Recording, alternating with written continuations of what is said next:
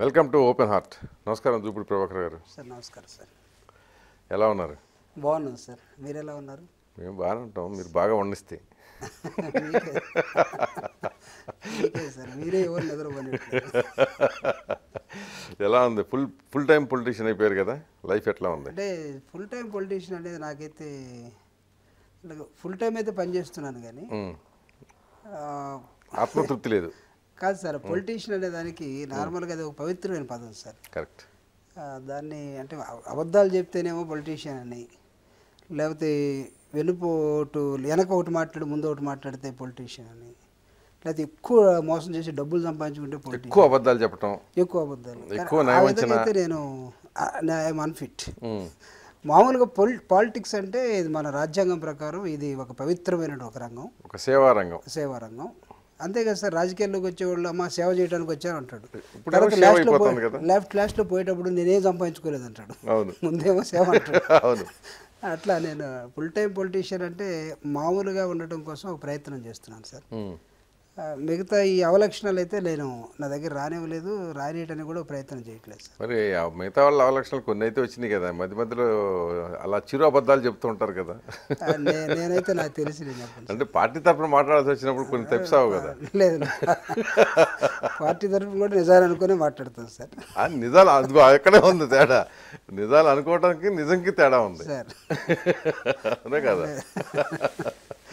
So జనం కూడా ఏంటంటే పూర్తి స్థాయి నిజంగా ఆ మీరు ఏ నిర్వచనంతో అయితే రాజకీయ నాయకుడు ఉండాలో ఆ నిర్వచనం ప్రకారం అయితే వాళ్ళు చెల్లుబాటు అయ్యే పరిస్థితి ఉన్నప్పుడు అంటే లేదనేది తెలుస్తుంది కానీ కానీ ఎక్కడో ఒక చోట దీనికి ఒక లైన్ గీయాల్సిన అవసరం ఉంది. సార్ లేకపోతే మొత్తం సొసైటీ భ్రష్టు భ్రష్ట్ మీరు ఎక్కువ సార్లు ఆ పదం వాడుతుంటారు. అవును. అది భ్రష్టు పెట్టే అవకాశాలు ఉన్నాయి. కాబట్టి కొంతమంది అయినా మనం నిలబడాల్సిన అవసరం ఉంది. వస్తారా? మాతో చేతి గలుపుతారా మీతో అంటే పత్రిక నేనైతే పెట్టలేను సార్. అక్కర్లా పత్రిక తరపున చేస్తున్న పోరాటానికి. పత్రికలో బాగా మీరు పెట్టుబడి పెట్టమని అడగట్లా పత్రికా ఛానల్ తరపున చేస్తున్న పోరాటంలో చేయగలుగుతారా అని అడుగుతున్నా. అంటే స్వచ్ఛమైనటువంటి పాలిటిక్స్ని తర్వాత నిజాయితీ కలిగినటువంటి రాజకీయాలని భావితరాలకు అందించాల్సినటువంటి ఒక సందేశాన్ని అందించడంలో మనం నేనైతే ముందు ఉండాలని అనుకుంటున్నాను సార్. ఎక్కడున్నా సరే. అది అంటే whatever may be the platform platform అది ఉంటాయిలేండి అది. ఓకే. అది దాని గురించి తర్వాత మాట్లాడదాం. ప్లాట్ఫామ్స్ గురించి. అంటే ఎందుకంటే మీరు మాల మహానాడు ద్వారా పాపులర్ అయ్యారు. ఒక కాజ్ దాంట్లో ఒక కాజు. ఆ కాజు సమర్థనీయమా కాదా తర్వాత చూద్దాం. సో మాల మహానాడు ద్వారా ఎంత ప్రాచుర్యం ఆ తర్వాత రాజకీయాల్లోకి నేరుగా వచ్చారు. అసలు అంత ఆ స్థాయికి రావడానికి అంటే ముందు మీ ఫ్యామిలీ బ్యాక్గ్రౌండ్ చెప్పండి అసలు. సార్ నేను మీకు అందరికీ తెలిసినట్టుగా ఒక నిరుపేద దళిత కుటుంబం నుంచి వచ్చాను సార్. ప్రకాశం జిల్లాలో సంకువారిగుంట అనే ఒక స్మాల్ విలేజ్ కొత్తపట్నం మండలం. అక్కడి నుంచి హాస్టల్లో కందుకూరు హాస్టల్లో హై స్కూల్ చదువు కోసం. హై స్కూల్లో ఉన్నప్పుడు నేను కొద్దిగా స్టూడెంట్స్ ఆర్గనైజేషన్లో ఉండటం ఆ తర్వాత ఇంటర్మీడియట్కి జవహర్ భారతి కావలి నెల్లూరు జిల్లా వెళ్ళటం ఉమ్, ఆ నెల్లూరు జిల్లా జవహర్ భారతి ఈ రాష్ట్రంలో ఒక ప్రత్యేకమైనటువంటి కాలేజీగా పేరు పొందినటువంటి శ్రీకాకుళం విప్లవాలు కానీ సిరిసిల్ల జగిత్యాల రైతాంగ పోరాటంలో కానీ లేకపోతే మోర్ ప్రోగ్రెసివ్ థాట్స్. థాట్స్ ఉండేటువంటి అభ్యుదయ భావాల కలయిక ఉన్న ఆ- ఆ కాలేజీ రమణారెడ్డి గారు కానీ లేకపోతే మా రామకృష్ణ గారు కానీ ఇలాంటి వాళ్ళు పెద్ద పెద్ద వాళ్ళందరూ కూడా ప్రోగ్రెస్ ఎస్ఆర్ శంకరన్ గారు మా కాలేజీకి ఆయన ఒక రెగ్యులర్ ప్యాటర్న్గా వచ్చినట్టు వాళ్ళు. తర్వాత కాలేజీ పెట్టినటువంటి పట్టాభి రామరెడ్డి గారు ఒక అద్భుతమైనటువంటి మనసు ఉన్నటువంటి గొప్ప నాయకుడు. ఆ కాలేజీలో నాకు అదృష్టవశాత్తు ఇంటర్మీడియట్కి కోర్స్ టెన్త్ క్లాస్లో మంచి మార్క్స్ రావటం వచ్చిన వాళ్ళకి అక్కడ కాలేజీలో సీట్ వస్తుంది. Okay. I got seat in intermediate reservation ప్రకారం కాదు. ప్రాతిపదిక. కాదు సార్ నాకు మెరిట్లోనే వచ్చింది. అందులో నేను స్పోర్ట్స్ కోటాలో వచ్చింది వాలీబాల్ ప్లేయర్ కదా? నేను volleyball high school intermediate captain sir. Ball badminton కూడా కెప్టెన్. రన్నింగ్ రేస్లో hundred metres two hundred metres sprint చేసేవాడిని. టెన్త్ క్లాస్లో ఉన్నప్పుడు ఫస్ట్ టైం నేను హైదరాబాద్ నేషనల్ కోసం నేషనల్ స్టేట్ మీట్ కోసం వచ్చాను. అఫ్ కోర్స్ ఇక్కడ ఓడిపోయి వెనక్కి వెళ్ళి ఎందుకంటే నాకన్నా ఆజాన్ బాహులు వాళ్ళు వీళ్ళందరూ. ఇక్కడ అంతా ఈ వీళ్ళు పబ్బల బ్యాచ్ ఉండేవాళ్ళు సార్. మాదే పల్లెటూరు బ్యాచ్. అది వ్యాయామశాల బ్యాచ్ వ్యాయామశాల బ్యాచ్ వాళ్ళు నాకన్నా టెన్త్ క్లాస్లోనే ఎంత ఉంటే నాకన్నా ఇంత ఉండేవాళ్ళు. సో ఓడిపోయి వెనక్కి వెళ్ళిపోయాం. అట్లా దళిత చిన్న కుటుంబం నుంచి వచ్చి చదువుకొని ఇంటర్మీడియట్ అయిపోయిన తర్వాత Osmania engineering eighty four eighty eight బ్యాచ్లో వచ్చాను sir. Mechanical engineering mechanical branch మీకు తెలుసు sir it is evergreen engineering branches అది అయిపోయిన తర్వాత మినిస్ట్రీ ఆఫ్ డిఫెన్స్ మెధారీలో. గ్రాడ్యుయేట్ ఇంజనీర్ ట్రైనింగ్గా చేరాను. దానిలో ఒక పదిహేడు సంవత్సరాలు పనిచేశాను. తర్వాత మీరు అన్నట్టుగా మాల మహానాడికి పదిహేడు పదిహేడు సంవత్సరాలు పనిచేసిన తర్వాత మా స్వర్గీయ వ్యవస్థాపక అధ్యక్షులు పివి రావు గారు చనిపోవటంతో నేను రావటం జరిగింది. వచ్చిన క్రమంలో నాకు అదే మీరు అన్నట్టుగా అప్పుడప్పుడు అంటుంటారు ఒరిజినల్గా జెల్ ఉంటుందని. ఈ ఈ వర్గీకరణ మాల మహానాడు ఉద్యమం. అంటే డాక్టర్ బాబాసాహెబ్ అంబేద్కర్ పది వందల ముప్పై రెండు కులాలు అంటరాని కులాలని ఒక షెడ్యూల్లో పెట్టి మీరందరూ కూడా ఎదగండి అని చెప్తే ఆ షెడ్యూల్ని డిస్టర్బ్ చేయడం కోసం వచ్చినటువంటి దాన్ని వ్యతిరే వ్యతిరేకిస్తూ రిజర్వేషన్లు మనం ఐక్యంగా ఉంచుకోవాల్సిన అవసరం ఉందని. ఇందాక మీరు అది న్యాయమైన అన్యాయం అనేది ఒక మాట అన్నారు మీరు. అది వస్తా దానికి తర్వాత అది సుప్రీంకోర్టు చాలా స్పష్టంగా you you don't have any right to disturb the scheduled caste అని షెడ్యూల్డ్ లిస్ట్ అని చెప్పి ఆ క్రమంలో ఆ ఉద్యమం ద్వారా వచ్చినటువంటి వాళ్ళం సార్. సో ఇప్పుడు మీరు అంటే చాలా పేదరికమా మామూలు పేదరికమా? చాలా పేదరికం అంటే అది నాక మాకన్నా పేదరికం ఎవరు లేరు సార్. ఎందుకంటే కటిక పేదరికం. కట్టి అంటే బట్టలు లేకుండా ఎగ్జాక్ట్లీ అడుక్కొని. మా అమ్మ కూడా పండక్కి ఎక్కడన్నా ఇంకొక ఊర్లో బట్టలు అడుక్కొచ్చి తీసుకొచ్చినటువంటి రైతుల దగ్గర. రైతుల దగ్గర సార్. అయితే వాళ్ళ బట్టలు వేసుకొని అన్నం లేని పరిస్థితుల్లో I know what is starvation కడుపు మంట ఆకలి ఎలా ఆకలి ఉంటుందో ఆకలి అంటే ఏంటో తెలిసిన వాళ్ళు. తెలిసింది తెలుసు సార్. అంటే కటికి పేదరికం అని మీరు అనొచ్చు that is suitable sir. Um. అక్కడి నుంచి వచ్చాం. ఎందుకన్నానంటే ఆ రోజుల్లో కటిక పేదరికంలో ఉండేవాళ్ళు అందుట్లో దళితుల్ని ప్రభుత్వాల కన్నా సాటి మనుషులుగానే వేరే వాళ్ళు ఆదుకునేవాళ్ళు కదా. అవును సార్. దానిలో ఉదాహరణకి దామచర్ల ఆంజనేయులు గారని మా ఊరు ప్రక్కనే సార్ నాయుడుపాలెం మనకి చనిపోయారు మాజీ మంత్రిగా ఉంటాడు మా అన్నయ్యకి టెన్త్ క్లాస్ చదువుకున్నప్పుడు మా అన్నయ్య స్కూల్ ఫస్ట్ సార్ మా అన్నయ్యకి టెలికమ్యూనికేషన్లో ఉద్యోగం వచ్చిందని ఒక లెటర్ వచ్చింది. Postal department postal? డిపార్ట్మెంట్ మా అన్నయ్య గుంటూరు వెళ్ళాలి. లెటర్లీ మా అమ్మ నేను మా అన్నయ్య ఆంజనేయులు గారి పొలంలో పనిచేస్తున్నాం పొగ మొక్కల దగ్గర. ఆ లెటర్ తీసుకొని ఇస్తే. మా అమ్మ అయ్యా ఇట్లా వచ్చిందంటే గుంటూరు ఎటుందో తెలియదు. గుంటూరు పోవడానికి ఛార్జీ తెలియదు ఛార్జీకి లేవు. ఆంజనేయులు గారు అప్పుడే ఒక వెయ్యి రూపాయలు తీసి. ఆయన కూడా చదువు రాదుగా? ఆ లెటర్ చదవటం చదవటం వచ్చింది ఆయనకి? సార్ ఆయన చదువు రాదు కానీ బ్రిటిష్ వాళ్ళతోటి టొబాకో కంపెనీలో పనిచేసి వాళ్ళకే ఇంగ్లీష్ నేర్పాడు సార్. గ్రేట్. గ్రేట్ అంటే మీరు ఇందాక అన్నారు చూడండి. చాలా మంది కన్నా గొప్పవాళ్ళు ఆంజనేయులు గారు నిజంగా. ఆ తర్వాత ఆ డబ్బులు మళ్ళీ మా అమ్మ మా అన్నయ్యకి ఉద్యోగం వచ్చిన తర్వాత తిరిగి ఇచ్చాం మేము. ఉమ్. ఇంట్రెస్ట్తో సహా ఆ వెయ్యి రూపాయలు ఇవ్వడం చిన్న విషయం కాదు. చాలా ఒక మానవత్వం ఉంటేనే వస్తుంది అంటే అక్కడ నేను వాస్తవాలు చెప్పుకోవడానికి ఎక్కడ సిగ్గుపడలేదు సార్ రాజకీయాలు. అసలు గర్వపడాలి? అదే నేరం కాదు కదా. అంటే అక్కడి నుంచి చదువుకుంటూ పైకి వచ్చినటువంటి పేదరికం నుంచి పైకి వస్తే గర్వపడాలి కానీ సిగ్గుపట్టాలి ఏ అంటే చాలా మంది నాకు అనిపిస్తుంది ఈ మధ్యకాలంలో. గతాన్ని అసలు ఎవరు చెప్పకుండా. అది వాళ్ళ కర్మ. అంతే కదా. ఓపెన్గా ఉండాలని చెప్తాను. గతం మర్చిపోయిన వాడికి భవిష్యత్తు ఉంటుందా? సార్. చెప్పండి ఉంటుందా? ఉండదు ఉండదు. ఉండే అవకాశం కూడా లేదు తాత్కాలికంగా కనిపిస్తున్నాం కానీ వచ్చి హైలీ ఇంపాసిబుల్ ఇంపాసిబుల్ సో ఇప్పుడు వద్దాం వర్గీకరణ గురించి. సార్. ఇప్పుడు మీరు ఆంధ్ర ప్రాంతంలో ఉన్నారు. అవును సార్. అక్కడి నుంచి వచ్చారు తెలంగాణ ప్రాంతంలో మాదిగలు ఎక్కువ ఉంటారు వాస్తవంగా చెప్పాలంటే ఈ ఉపకులాల్లో మాలల కన్నా మాదిగలది చాలా దయనీయమైన బతుకు. ఒప్పుకుంటారు ఒప్పుకోరు? అంటే నేనేమంటానంటే ఈ దయనీయమైన బ్రతుకు దానికి కారణం మాలలు కాదు అంటాను. అబ్బే మాలలని నేను అంటలా. లేదు లేదు అది సా సామాజిక స్థితిగతులే. అక్కడ భౌగోళిక స్థితిగతులు సామాజిక స్థితిగతులు కూడా కారణం. ఇప్పుడు తెలంగాణ అది ఇప్పుడు మీకు ఆంధ్రాలో ఉన్న మాదిగలుతో పోలిస్తే తెలంగాణలో ఉన్న మాదిగల పరిస్థితి హీనంగా ఉంటుంది. మాలల పరిస్థితి కూడా అదే ఉంటుంది. నేను అదే అదే వస్తున్నా వస్తున్నా వస్తున్నా. నేను అది నెక్స్ట్ అదే కదా? ఇది అన్నానంటే ఎందుకంటే ఇక్కడ ఉన్న పరిస్థితి. అయితే ఏంటంటే ఇక్కడ జనాభా అత్యధికంగా మాదిగలు ఉన్నలో టోటల్ రాష్ట్ర జనాభా మాదిగల్లో తెలంగాణలో అత్యధికులు ఉన్నారు. మాలల్లో మొత్తం జనాభాలో ఆంధ్ర ప్రాంతంలో అత్యధికులు ఉన్నారు. అంతే కదా?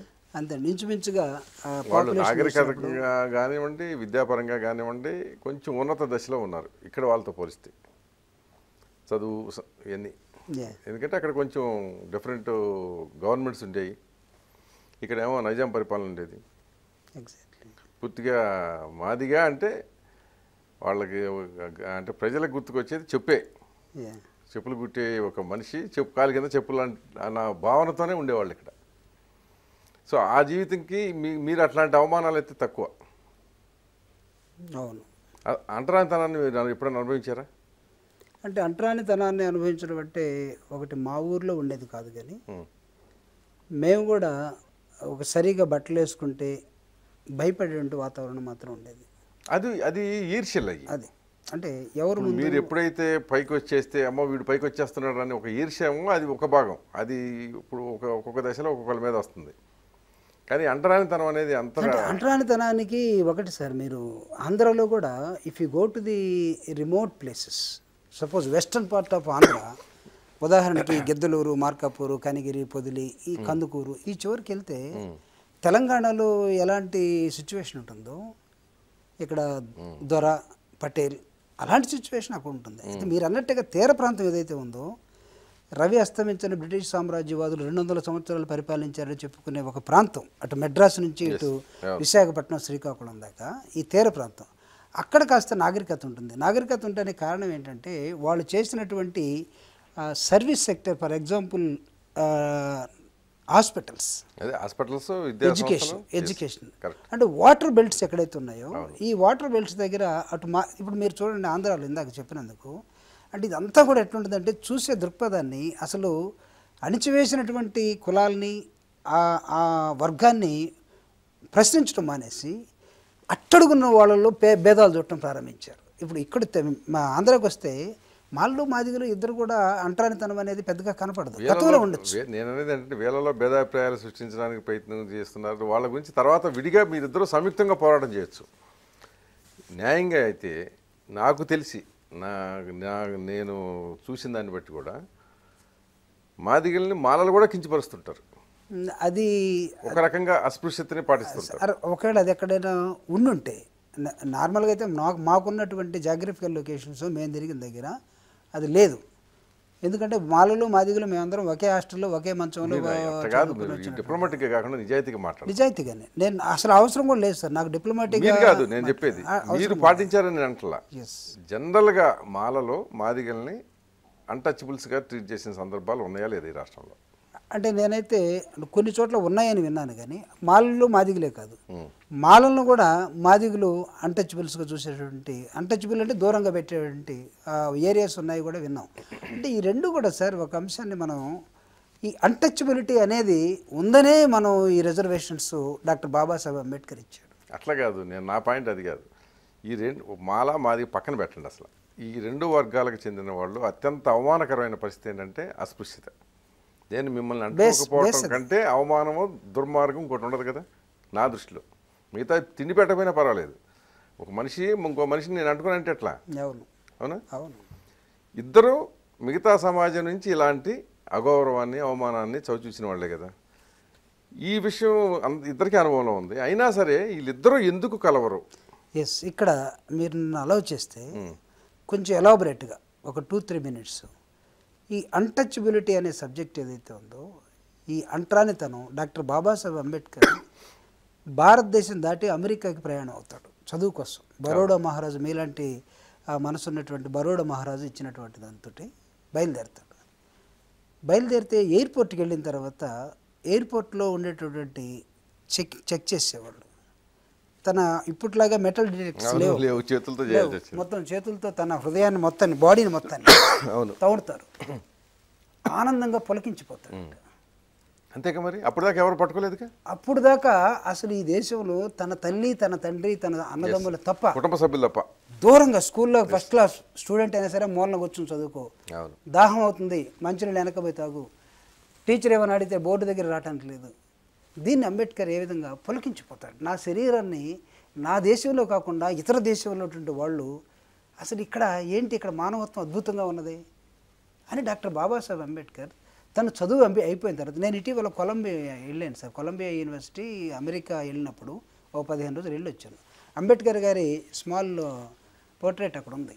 దానికి దండేస్తే అక్కడ ఉన్నటువంటి లైబ్రరీ డాక్టర్ బాబాసాహెబ్ అంబేద్కర్ ఏ లైబ్రరీని అయితే నాలుగైదు సార్లు తరు తరువుగా చదివాడు ఒక లేడీ ఫార్టీ ఫైవ్ ఇయర్స్ ఒక లేడీ డైరెక్టర్.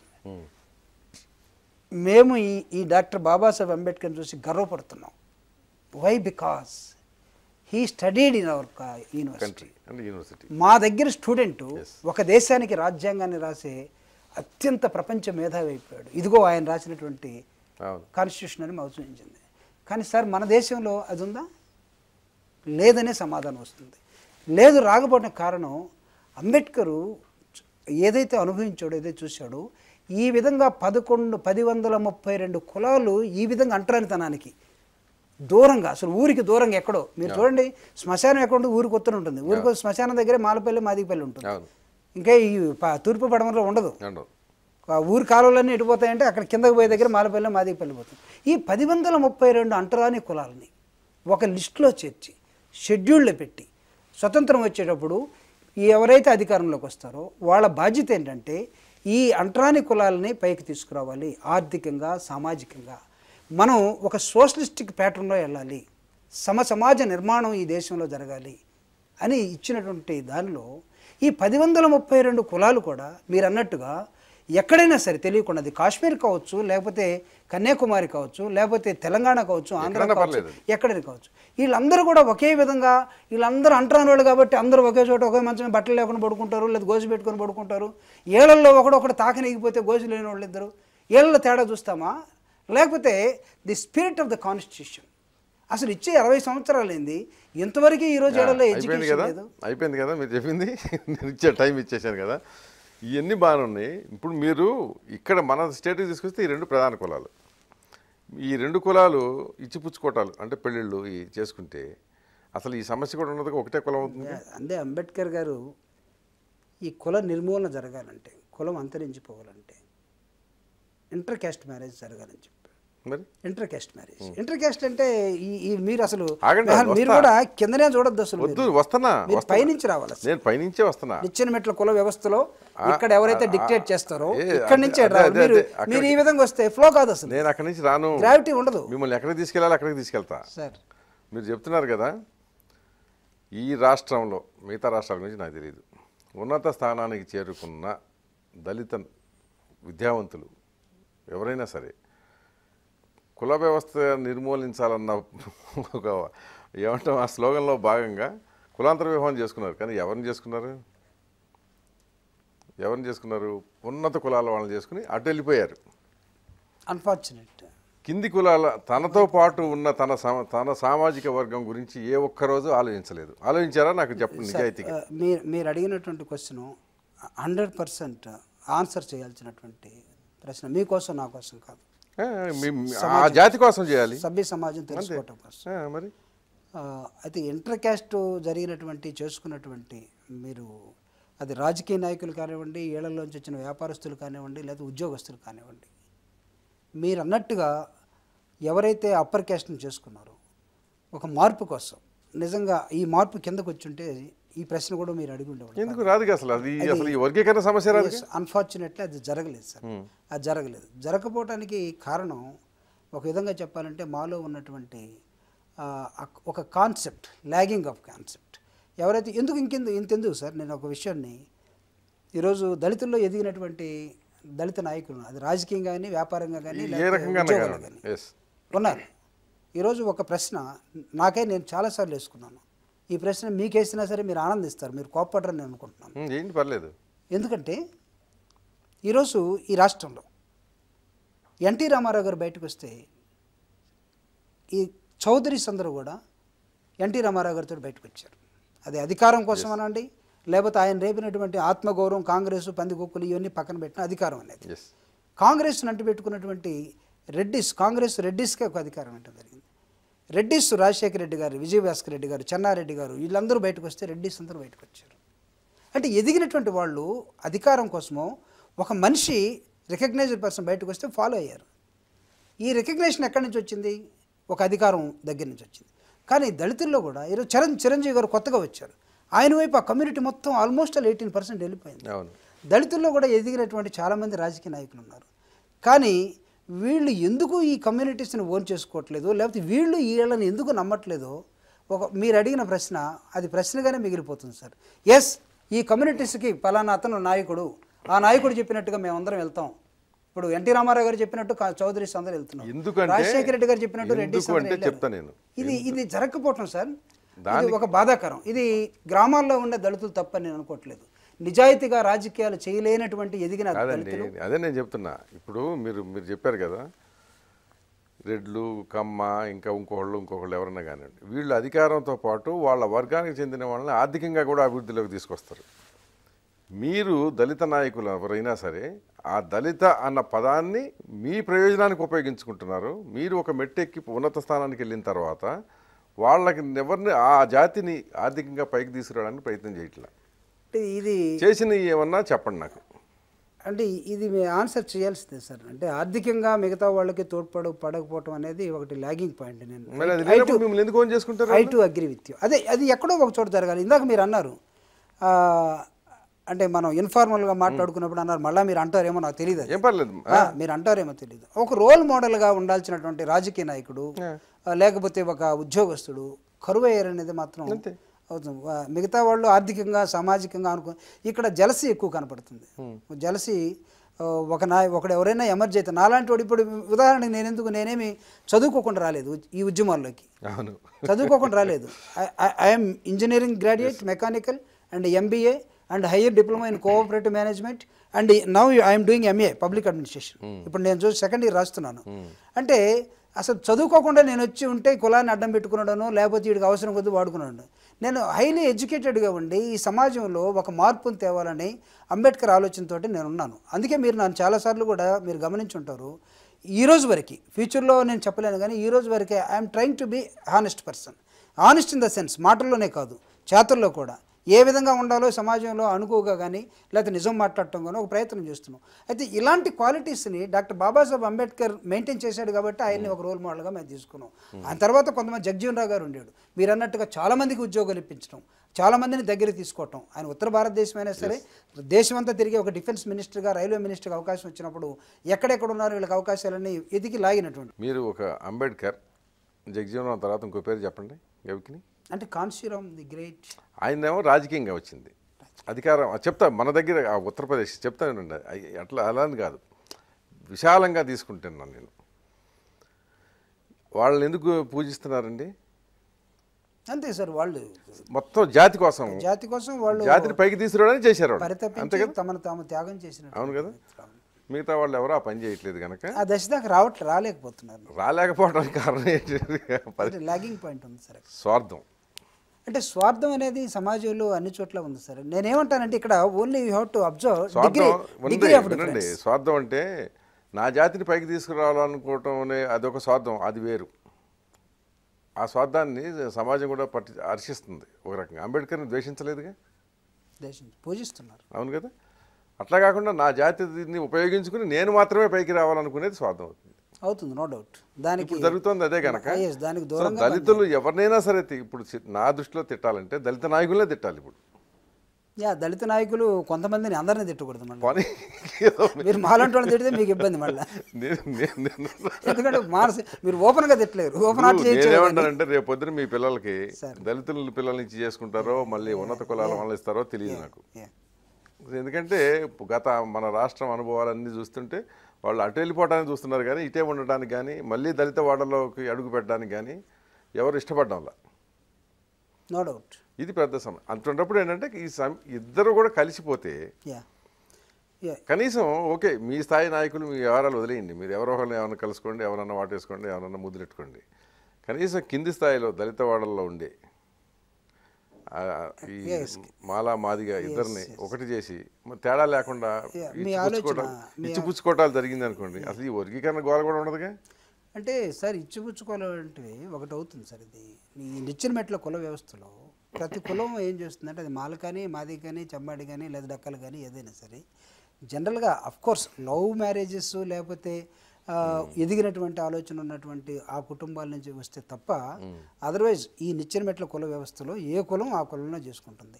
ఇప్పుడు బ్రాహ్మిన్స్ వెళ్ళి రెడ్డిస్ తోటి కానీ రెడ్డిస్ వెళ్ళి నాయుడిస్ తోటి కానీ నాయుడిస్ వెళ్ళి కాపులతోటి కానీ అంత మా మాట్లాడుకొని ఇచ్చిపుచ్చుకునే వాతావరణం ఈ దేశంలోనే ఈ నేలలోనే లేదు. It's a fault of the soil నేను అది వేరండి. అంటరాని కులాల్లో కూడా ఈ పది వందల ముప్పై రెండు కులాలు ఉన్నటువంటి వేళల్లో ఎదిగినటువంటి నాయకులు అంతెందుకు సార్? ఇప్పుడు ఎస్సీ సప్లై అనేది ఒకటి ఉంది. ఈ ఎస్సీ సప్లాన్ మీద ప- దాదాపు ఇరవై ఐదు వేల కోట్ల రూపాయలు దారి మళ్ళించబడ్డాయి అనేది అన్ని ఆర్గనైజేషన్లు మాట్లాడేటప్పుడు ఇందిరా పార్క్ దగ్గర చెప్తాం. మైక్ దొరికితే మాలాంటి వాళ్ళందరం చెప్తాం. కానీ ఈ దీని మీద అందరం కలిసి పనిచేయొచ్చుగా ఆర్థికంగా ఎదగటం కోసం? దీని మీద చేయ కలిసి చేయట్లేదు. అదేవిధంగా మీరు కలవటం అన్న దానికోసం మందకృష్ణ గారు నేను దాదాపు నాలుగు సార్లు సత్యమూర్తి గారు నిన్న నిన్న నేను విజయవాడ వెళ్ళొచ్చాను.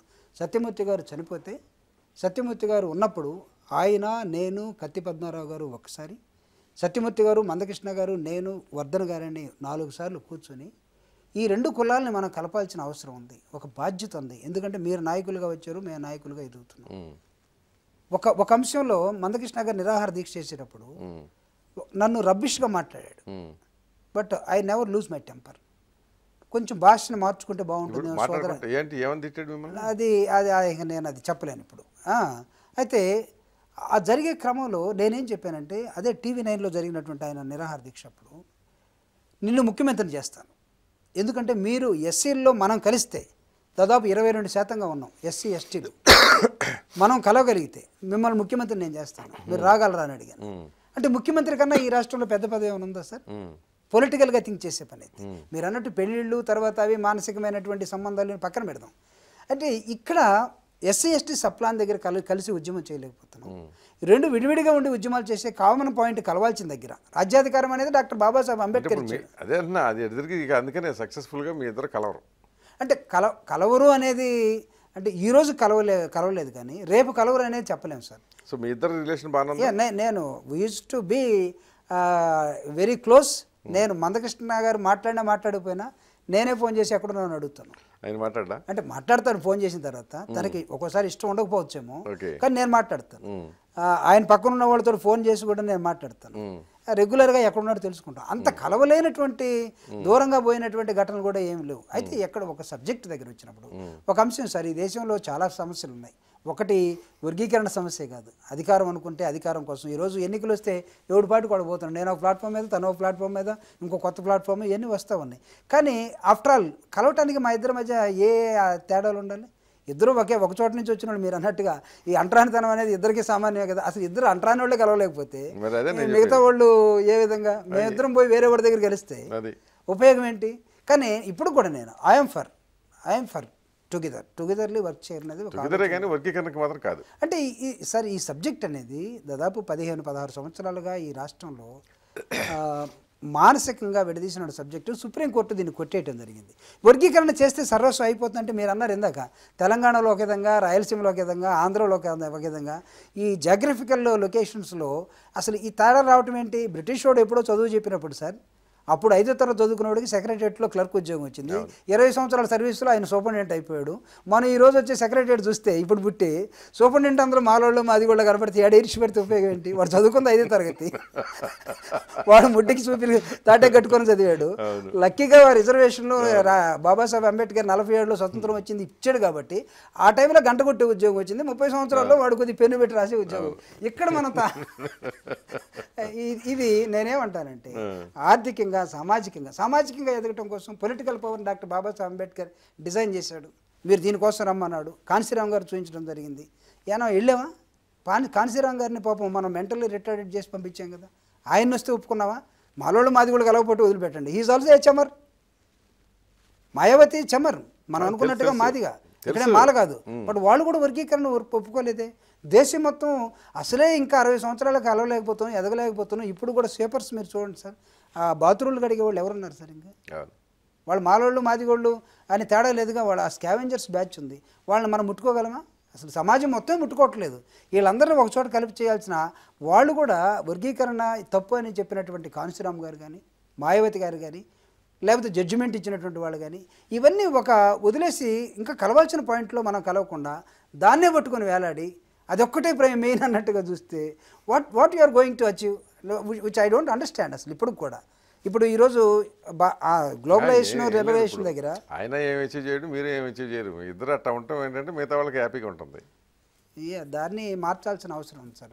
ఇద్దరు దూర. దూరంగా ఉన్నంతకాలం మీరు అన్నట్టుగా వేరే వాళ్ళకి అది అడ్వాంటేజ్ కానీ అందుకే కలవాల్సినటువంటి శక్తులు కలవకుండా అవసరం కోసం విడివిడిగా ఉండాల్సిన వ్యక్తులు శక్తులుగా మారుతున్న క్రమంలో కలిసి ఉండాల్సిన శక్తులు విడివిడిగా నిర్వీర్యం అయిపోతున్నటువంటి దశలో మనం ఎన్నో పోరాటాలను చూసాం సార్. నేను ఇందాక మీకు నా బ్రీఫ్ ఇచ్చినప్పుడు when I was in intermediate మాకు మా కథలు కథలుగా శ్రీకాకుళం. శ్రీకాకుళంలో చిందింది రక్తము కాల్వలై పారే కొండవాగులలోన. కొండలెరుపెక్కిన ఈ పోరాడ కొండలే కద ఇలాంటి పాటలు. అవును.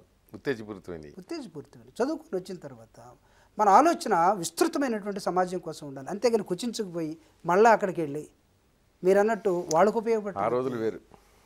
ఆ రోజు నేపథ్యం అదే ఉన్నది కదా సార్. ఈరోజు కూడా శ్రీకాకుళ పోరాట ఆ, ఆ స్మృతులు లేకుండా ఉద్యమాలు ఉన్నాయా? ఈరోజు మీరు చూసి చూడండి నా ఇక్కడ జరుగుతున్నట్టు తెలంగాణ ఉన్నాయి.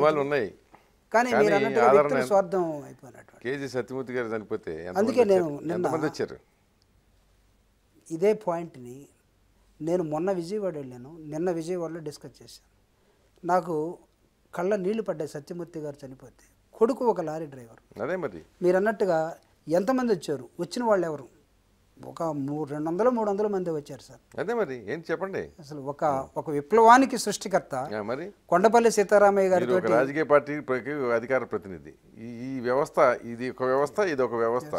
ఆయన ఏం చెప్పండి? బహుజన ఉద్యమం కోసం వచ్చినటువంటి అడవిని వదిలి ప్రజల్లోకి ప్రజాస్వామ్యబద్ధంగా సూర్యుడు అంబేద్కర్ అని రాసి వచ్చినటువంటి సత్యమూర్తి గారు చనిపోతే వచ్చిన జనాన్ని చూసి నిజంగా నాకు ఏడుపు వచ్చింది. అసలు ఎక్కడ ఎక్కడ ఎక్కడికి వెళ్ళిపోతున్నాం ఎటు వెళ్ళిపోతున్నాం తెలిసి నిజంగా లవ్ అండ్ ఎఫెక్షన్ వస్తుందా ఖచ్చితంగా. దీని నుంచి లెసన్స్ తీసుకోవాలి.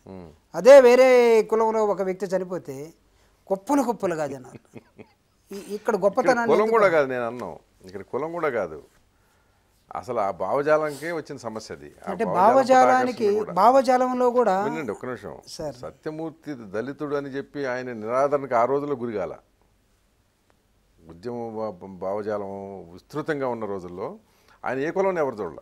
ఒప్పుకుంటారు అది ఇంకా పీపుల్స్ వార్లో ఉన్నప్పుడు తను బయటకు వచ్చిన నేపథ్యం కూడా కులాన్ని ఐడెంటిఫై చేసిన అది తర్వాత అది తర్వాత అది అది ఇంటర్నల్గా జరిగింది. అనేది అది కాదు. అంటే ఆయన గుర్తింపు ఇవ్వటంలో గుర్తింపు ఇవ్వడంలో ఒక విప్లవకారుడుగానే ఇచ్చారు. ఇప్పుడు అది నేను చెప్పేది. మామూలు సమాజం నేను చెప్పేది. ఆయన అడవిలో మావోయిస్టు ఇప్పుడు ఆ రోజు ఉన్న పీపుల్స్ వారు అగ్రనాయకత్వంలో విభేదాలు కులాలు ఇవన్నీ అది వేరే భాగం కానీ బట్ ఆయనకి ఆ రోజుల్లో ఉన్నది. కానీ ఈ రోజుల్లో లేదా లేకుండా లేదు చివరి దశలో కూడా చాలా ఇబ్బందులు పడుతూ ఫైనాన్షియల్గా కానీ చూసేవాళ్ళు లేక నిన్న వాళ్ళు చెప్తుంటే బాధేస్తుంది కానీ మీరు ఈ రకమైన భావజాలం పట్ల ఆకర్షితులైన మీరు మధ్యలో సడన్గా ఒక్కోసారి భావావేశానికి గురవుతుంటారు. అనవసరమైన విశేషణాలన్నీ జోడిస్తూ ఉంటారు కొంతమందికి. ఉదాహరణకి రాజశేఖర్ రెడ్డిని యేసుప్రభుతోటి బాబాసాహెబ్ అంబేద్కర్తో పోల్చారు. అంటే ఇక్కడ వేరే వాళ్ళు ఎవరైనా మాట్లాడితే అది వాళ్ళు అర్థం లేకుండా మాట్లాడతారు మీరు కూడా అంటే నేను దాన్ని చెప్పండి ఎట్లా? యేసుక్రీస్తు తోటి బాబాసాహెబ్ అంబేద్కర్ తోటి రాజశేఖర రెడ్డి గారిని నేను ఎప్పుడు పోల్చలేదు. పోల్చే అంత సాహసం కూడా నేను చేయలేను. ఎందుకంటే ఆ గుణాలు ఈ రెండు ఒక డిఫరెంట్ ప్లాట్ఫామ్స్ యేసుక్రీస్తు అనే అనే మాటని మాకు వ్యతిరేక శక్తులుగా ఉన్నవాళ్ళు వాళ్ళ అల్లి మీలాంటి వాళ్ళ పత్రికల్లో ఒకటికి రెండు సార్లు వేయించి. మమ్మల్ని తిట్టించడానికి పనికొచ్చింది. నేపథ్యం? అనలేదు. విజయవాడలో రాజశేఖర రెడ్డి గారు ఉన్నప్పుడు. రెండు వేల ఏడు ఫిబ్రవరి పన్నెండో తేదీ నాడు సొంత భూమి సాధనకై అనే ఒక టైటిల్ తోటి దళితులు కూడా భూమి ఇవ్వాలి అనే ఉద్దేశం మీద రాజశేఖర రెడ్డి గారు ముఖ్యమంత్రిగా ఉన్నప్పుడు నేను మాలమోహన రాజ్యంలో ఒక గొప్ప బహిరంగ సభ దాదాపు మూడు లక్షల మందిని పెట్టాం. ప్రకాష్ అంబేద్కర్ అంబేద్కర్ గారి మనవడు ఒక చీఫ్ గెస్ట్ రాజశేఖర రెడ్డి గారు ఒక చీఫ్ గెస్ట్. నా నలభై ఐదు నిమిషాల ఉపన్యాసంలో నేను చెప్పిందంటే ఈరోజు దళితులకి మీరు గడుతున్నటువంటి జలయజ్ఞం ప్రాజెక్టుల కింద భూములు లేవు. వ్యవసాయ కూలీలుగా ఉన్నాం. ఈ దేశంలో ఉన్నటువంటి భూములు ఈ రాష్ట్రంలో ఉన్న భూముల్ని పంచాలని డాక్టర్ బాబాసాహెబ్ అంబేద్కర్ రాజ్యాంగంలో ఇచ్చాడు. ఈరోజు ఒక మనసున్నట్టు వ్యక్తిగా మీరు ఈరోజు కనపడుతూ ఉన్నారు. ఈ భూములు పంచండి. మేము వ్యవసాయ కూలీలుగా ఉన్నాం. భూమి అనేది ఒక ఆత్మగౌరవ నినాదం. ఒక ఎకరా ఉన్నా అరెకరా ఉన్నా మాకు అప్పు కావాలంటే బ్యాంకులో పట్టబెట్టి. కాన్ఫిడెన్స్ వస్తుంది. కాబట్టి మాకు ఇల్లు కావాల్సిన అవసరం ఉంది. భూమి కావాల్సిన అవసరం ఉంది. మాకు ఆకలి ఉన్నది దుఃఖం ఉన్నది నిరుద్యోగం ఉన్నది అంటరానితనం ఉన్నది. మీరు క్రీస్తుని నమ్మినటువంటి యేసుక్రీస్తు భక్ భక్తుడు కాబట్టి మాకున్నటువంటి అవసరాలను తెచ్చి మా మా హృదయాల్లో యేసుక్రీస్తులా నిలిచిపో అని అన్నాం. ఈ- సార్ ఇది యేసుక్రీస్తు కంపేర్ చేయటమా? కాదు ఇది కాదు దీంట్లో తప్పలేదు ఇది సార్ నేను చెప్పింది. దీన్ని ఎట్లా లేరంటే సార్ మీకేముంది ఒక ప్రెస్ మీట్ ప్రెస్ నోట్ ఇవ్వడం రాసి పంపితే జూపుని తిట్టచ్చు కదా రాయమని మీరు అనొచ్చు. అంటే మీరంటే మీరు పొలాల్లో సరిహద్దులో తగాదా ఉంది మీరంటే మీరు కాదు. అంటే. పత్రికల్లో వచ్చింది సార్. వెంటనే ఎవరైతే నా నా నన్ను గిట్టరు వాళ్ళ బహిరంగ సభకు వచ్చి కూర్చున్నారు విజయవాడ. మీటింగ్ ఆరు గంటలకు అయిపోతే ఏడు గంటలకు నేను బయటకు వస్తే ఏడు గంటలకు స్టేట్మెంట్ వచ్చేసింది. సో అవలా అట్లాంటిది ఏం అనలా మీరు? అస్సలు సమస్య లేదు. సార్ నేను స్పృహలో ఉంటాను సార్. ఓకే. నాకు తెలుసు యేసుక్రీస్తు ఎవరు రాజశేఖర రెడ్డి గారు ఎవరు నాకు తెలుసు. అయితే ఈజ్ ఆల్సో ప్రాక్టీసింగ్ క్రిస్టియానిటీ నీలో దయార్థ హృదయం ఉంది మిషనరీ మనస్తత్వం ఉంది. కాబట్టి మాకున్న సమస్యలు ఏంటి ఆ ఫ్లోలో నేను చెప్పింది ఏంటంటే నువ్వు ఈ సహాయాలు చేసి యేసుక్రీస్తులాగా ఉండిపోమ్మాను యేసుక్రీస్తుతోటి పోల్చేసాడు అనేది ఒకటి పెట్టారు. నిన్న సార్ అంబేద్కర్ గారితో మీరు అన్నారు ఇప్పుడు అంబేద్కర్ తోటి పోల్చాడని. అంబేద్కర్ గారితో పోలటం అంటే భారతదేశంలో కాదు, ప్రపంచంలో కూడా ఎవరు కూడా అంబేద్కర్ తోటి ఈక్వల్ కాదు నా ఉద్దేశం. అయిపోయింది కదా? అంతే ఓవర్. కాదు. అయితే నేను అన్నది ఏంటి నేను బహిరంగ సభలో మాట్లాడుతుంటే ఒక ఒక అతను కొన్ని చోట్ల అంబేద్కర్ గారి పక్కన రాజశేఖర రెడ్డి గారి విగ్రహాలు పెడుతున్నారు. దీని మీద ఒక డిబేట్ లాంటిది పెడితే బాగుంటుంది కదా అని అన్నాడు. దానికి నేను ఏం చెప్పానంటే ఒక సమాధానంగా భారతదేశానికి రాజ్యాంగాన్ని ఇచ్చినటువంటి ప్రపంచ మేధావి డాక్టర్ బాబాసాహెబ్ అంబేద్కర్ రాజ్యాంగం పొలిటికల్ పవర్లోకి వచ్చినటువంటి పార్టీస్ ఎవరైతే ఉన్నారో వీళ్ళు ఈ అంతరాల్ని తొలగించాల్సిన బ్రిడ్జ్ చేయాల్సిన అవసరం ఉంది. అది ఆంధ్రప్రదేశ్లో పద్నాలుగు మంది ముఖ్యమంత్రుల్లో కాస్తో కూస్తో మెరుగ్గా పనిచేసింది రాజశేఖర రెడ్డి గారు. ఇందిరమ్మ ఇళ్ళు కానీ లేకపోతే పెన్షన్స్ కానీ వాటికి తర్వాత ఇక్కడ ఇది కంప్లీట్ అయిపోయింది. చేసినటువంటి వ్యక్తి. ఇప్పుడు రాజశేఖర రెడ్డి గారి విగ్రహాన్ని అంబేద్కర్ విగ్రహం దగ్గర జూపూడి ప్రభాకర్ రావు ఎప్పుడైనా పెట్టమన్నాడు ఎవరైనా చూపిస్తే ఐఎమ్ ఛాలెంజ్. కానీ ఎక్కడైనా ఎవరైనా పెట్టుకుంటే ఈ ఆలోచన వచ్చినప్పుడు ఈ డిబేట్ వచ్చినప్పుడు వీళ్ళిద్దరూ కూడా ఆయన సాధించాల్సిన ఆశయాల్ని ముఖ్యమంత్రిగా ప్రధానమంత్రిగా మనలాంటి వాళ్ళు లేకపోతే పాలకులు చేయాల్సిన అవసరం ఉంది. దానికి వీళ్ళిద్దరూ శత్రు వైరుధ్యంతో ఉన్నటువంటి వాళ్ళు కాదు మిత్ర వైరుధ్యంతో ఉన్నటువంటి వ్యక్తులుగా మనం చూడాలి అని నేను చెప్పింది. అంటే భాష అన్న నా భాష అన్న వాళ్ళకి అర్థం కావాలా? ఓకే సరే. భాష కూడా అర్థం చేసుకోవాలని నా దళిత నాయకులు వచ్చేసి దళిత ఉద్యమాలంటే ఇంకా దానికి ప్రభాకర్ని అంబేద్కర్ పక్కన రాజశేఖర రెడ్డి విగ్రహాలు పెట్టమన్నాడు. అంటే నేనేమన్నా శత్రు వైరుధ్యం కాదు మిత్ర వైరుధ్యం. కమాన్ నేను అడుగుతున్నా ఈరోజు ఎవరైనా సరే నా మీద ఇచ్చినటువంటి వాళ్ళు వచ్చి దీనికి సమాధానం చెప్పానండి అంటే మీ ద్వారా నాకు ఒక అవకాశం కూడా వచ్చింది. విగ్రహాలు గోల తర్వాత చేద్దాం. తర్వాత చూద్దాం. అంటే మీరు అడిగారు ఇంత విప్లవ భావజాలం ఉండి? అలాంటి భావజాలానికి ఆకర్షితులై ఉండి విద్యార్థి దశలో పీడిఎస్సిలో పనిచేసి అలాంటి వ్యక్తి అలాంటి జూపూడి ప్రభాకర్ రావు అత్యంత తీవ్రమైన అవినీతి ఆరోపణలు ఎదుర్కొంటున్న జగన్ పార్టీలో ఎలా చేరగలిగాడు ఎలా మనగలుగుతున్నాడు ఆ వివరాలు తెలుసుకునే ముందు చిన్న బ్రేక్ తీసుకుందాం. వెల్కమ్ బ్యాక్ ప్రభాకర్ గారు చెప్పండి. సార్. ఇందాక అడిగిన దానికి. అదే అదే మీరు అన్నారు సార్ అవినీతి ఆరోపణలు ఎదుర్కొంటున్నాను. అది ఆరోపణలు మాత్రమే అది వాస్తవం కూడా కాలేదు. కాబట్టి. నేనే మాట్లాడిన ఇంకా. అది ఆరోపణ నేను ఒకటి సార్. రాజశేఖర రెడ్డి గారితో పంతొమ్మిది వందల తొంభై ఆరు నుంచి నాకు ఈ మాలమహానుడు ఉద్యమం ఎంఆర్పిఎస్ ఉద్యమంలో ఆ రోజు నుంచి పరిచయం ఉంది. మా ఇందాక నేను మొట్టమొదటిగా చెప్పినట్టుగా మా స్వర్గీయ వ్యవస్థాపక అధ్యక్షులు పివి రావు గారు చనిపోయిన తర్వాత అనుకోని విధంగా నేను ఉద్యోగం వదిలేసి అక్కడికి రావడం జరిగింది. వచ్చిన క్రమంలో నేను ఎమ్మెల్సీగా ఉన్నాను నాకు పాలిటిక్స్లో గాడ్ ఫాదర్ అంటే ఎవరు లేరు. ఆయన ఇప్పించాడు రాజశేఖర రెడ్డి గాడ్ ఫాదర్ అంటే మా ఇద్దరికి ఆఫర్ చేశాడు. అవును కరెక్ట్ అది. ఇద్దరికి ఆఫర్ చేశారు. నేను డెమోక్రటిక్గా ఉంటాను కాబట్టి నథింగ్ రాంగ్ అనుకొని నేను వెళ్ళటం జరిగింది. మిగతా వాళ్ళు ఎందుకు రాలేదో కూడా నేను దానికి సమాధానం వాళ్ళే చెప్పాల్సిన అవసరం ఉంటుంది. అయితే నన్ను రాజకీయాల్లోకి తీసుకొచ్చిన వ్యక్తి లేనప్పుడు literal I'm in the cross roads but cross రోడ్స్లో ఉన్నాను కాబట్టి అవకాశాలు ఎదుర్కొని నేను ఇటు కూడా ఏదో అవకాశాల కోసం వెళ్ళొచ్చు. కానీ I I want to draw a line. రాజకీయాల్లో కూడా నిజాయితీగా మాట్లాడవచ్చు ఉండొచ్చు. మీరు అన్నట్టువి ఆరోపణలు మాత్రమే. ఈరోజు ఆంధ్రప్రదేశ్లో రాజశేఖర రెడ్డి గారి ద్వారా ఎదగనటువంటి దగ్గరున్న రాజకీయ నాయకుల్ని చూపించండి. ఈరోజు లేకపోవచ్చు ఆయన దగ్గర. కోట్లు కోట్లు సంపాదించుకున్న వాళ్ళు మంత్రి పదవులు ఒకసారి రెండుసార్లు తీసుకున్నటువంటి వాళ్ళు. ఆయన కాళ్ళు పట్టుకొని పంచి ఊడేదాకా లేవనటువంటి బ్యాచ్లు ఈరోజు లేరు. ఆయనతో లేరు ఆయన కుమారుడితో కూడా లేరు. లేకపోగా బయట ఉండి బూతులు తిడుతున్నారు. కానీ ఇప్పుడు ఎవరు మిగిలేరు ఆయన కుమారుడితోటి అవినీతి ఆరోపణలు మీరు అన్నట్టుగా ఉన్నప్పటికి కూడా రేషన్ కార్డు బ్యాచి లేకపోతే రెండు వందల రూపాయల పెన్షన్ బ్యాచి మాలాంటి వాళ్ళు కొంతమంది నిలబడ్డాం. ఎందుకు నిలబడ్డాం? ఒక ఆలోచన ఉంది కాబట్టి. మీరు అన్నట్టుగా ప్రోగ్రెసివ్ ఎలిమెంట్గా ఈ రోజు కాదు ఫ్యూచర్లో రాజకీయాలు ఎంతకాలం ఉంటాయో నాకు తెలియదు నేనే నిరంతరంగా? ఉండాలని కూడా నేను అనుకోవట్లేదు. అంటే వైరాగ్యం వైరాగ్యం అంటే సార్ మనం చాలాసార్లు డిస్కస్ చేసాం మీ ఛానల్లో కూడా నేను మాట్లాడటం జరిగింది. అంటే ఎక్కడ వాల్యూ పాలిటిక్స్ ఉన్నటువంటి నడిపేటువంటి కనపడటం లేదు సార్. డయాస్ మీద ఒకటి మాట్లాడతారు కింద ఒకటి మాట్లాడతారు. అవసరం కోసం ఒకటి మాట్లాడతారు ఇంకోసారి ఇంకోటి మాట్లాడతారు. కాబట్టి నిరంతరంగా కూడా దీనిలోనే అంటిపెట్టుకుని ఉండాలని అయితే నేనైతే అనుకోవట్లేదు. తర్వాత మీరు ఇందాక ఒక మాట అన్నారు మీ పిల్లలు వీళ్ళందరూ. మా పిల్లలు కూడా ఈ రోజు వరకు నేను క్యాస్ట్ సర్టిఫికేట్ తీసుకోలేదు. ఎందుకంటే గ్రామంలో మా తమ్ముడు కానీ మా అన్న కానీ వాళ్ళందరూ కూడా హాస్టల్లో చదువుకొని తెలుగు మీడియంలో ఉండి గ్రామాల్లో ఉండి హాస్టల్లో ఉన్న వీళ్ళు ఒక కాస్త కోస్తో రెసిడెన్షియల్. దారిలో చదువుకున్నటువంటి మా పిల్లలతోటి పోటీ పట్టంటే కష్టం. కాబట్టి నేను వీళ్ళని ఆపేశాను. ఓకే. ఆపేశాను. క్యాస్ట్ సర్టిఫికేట్ లేకుండా. A common compete. వీళ్ళిద్దరి మధ్య కదా పోటీ. You compete with other fellow. అనే దాని మీద ఒక లైన్తో ఉన్నాం. పాలిటిక్స్లో కూడా నిరంతరంగా ఉండాలని నేను కోరుకోవట్లేదు. ఒకళ్ళు ఉంటే ఉంటానని రా- రావాలని కూడా నేను కోరుకొని రాలేదు. నేను మిగతా వాళ్ళైతే ఈ ప్రశ్న అడగను. సార్. మీలో అభ్యుదయ భావాలు ఉన్నాయన్నారు విప్లవ భావాలు ఉన్నాయన్నారు. అవి ఆచరణలో కూడా చూపిస్తున్నాను ఇప్పుడే చెప్పారు. మీ పిల్లలకి కూడా యాక్చువల్గా ఇదే బాబాసాహెబ్ అంబేద్కర్ చెప్పింది కూడా. ఒక దశకు వచ్చిన తర్వాత అక్కడితో వదిలేసేయండి అది. ఇంకొకళ్ళని అనుభవించనివ్వండి అన్నారు. అంతేనా? తీసుకోవాలి. సో ఇప్పుడు మీరు మీ పిల్లలకి వద్దురా మీరు అవసరం లేదు మీకు అన్ని సౌకర్యాలు ఉన్నాయి కనుక ఆ రిజర్వేషన్ వాళ్ళకి పొందాలన్న ఉద్దేశంతో మీరు త్యాగం చేస్తానికి సిద్ధపడ్డారు. ఇలాంటి వాళ్ళు అక్కడ ఆ పార్టీలో ఎట్లా ఇవ్వడగలరు అసలు ఇది ఎలా సాధ్యమైంది అనేది అంటే పార్టీ అంటే సార్ ఇప్పుడు ఏ ఏది అందంగా ఉందని? అంటే అది నేను ఒప్పుకుంటా. ఇప్పుడు మనం ఏంటంటే మొత్తానికి మురికి మురికి గుంటల్లో చేరిపోయాము కానీ ఓన్లీ థింగ్ ఏంటంటే అత్యంత దుర్గంధభరితము కొంచెం లేదు తక్కువ దుర్గంధభరితము. అంటే మాకు ఇక్కడ దుర్గంధం అవసరం. ఆ- బ్యాడ్ స్మెల్ ఏం రావట్లేదు సార్. మేము మాట్లాడ మాట్లాడాలనుకున్నదే మాట్లాడగలుగుతున్నాం. స్పష్టంగానే ఉన్నాం. ఈరోజు జగన్ గారితో కూడా అనేక విషయాల్లో ఇది ఇది అని మాట్లాడే వాళ్ళలో నేను ఒకడిని. జగన్తో మాట్లాడతారా? చాలా స్పష్టంగా చాలా అంశాల్లో ఏమని పలకరిస్తారు మిమ్మల్ని? అన్న అంటాడు.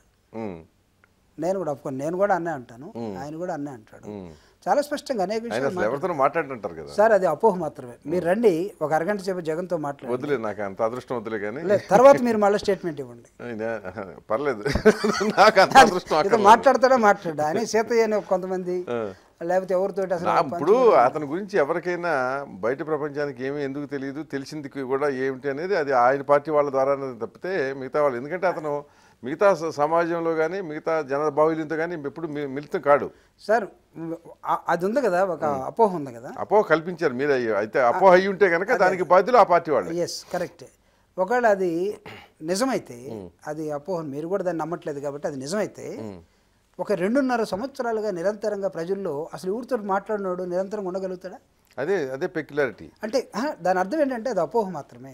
ప్రజలతో ఉండటం వేరు ఇప్పుడు చాలామంది కెమెరా ముందు ఒక రకంగా ఉంటారు కెమెరా వెనక ఒక రకంగా ఉంటారు. అంటే చాలా మంది ఉంటారేమో కానీ జగన్ మాత్రం.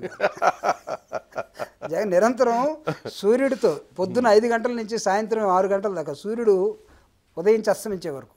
సూర్యుడు అస్తమించిన తర్వాత చంద్రుడితో పార్టీలో ఉన్న ఒక ఒక ఒక ముఖ్యుడే అన్నాడు. జనాల్లో ఉన్నప్పుడు ఆయన వ్యవహార శైలి ఒక రకంగా ఉంటుంది. కారులోకి రాగానే ఆయన అపరిచితుడైపోతాడు అది.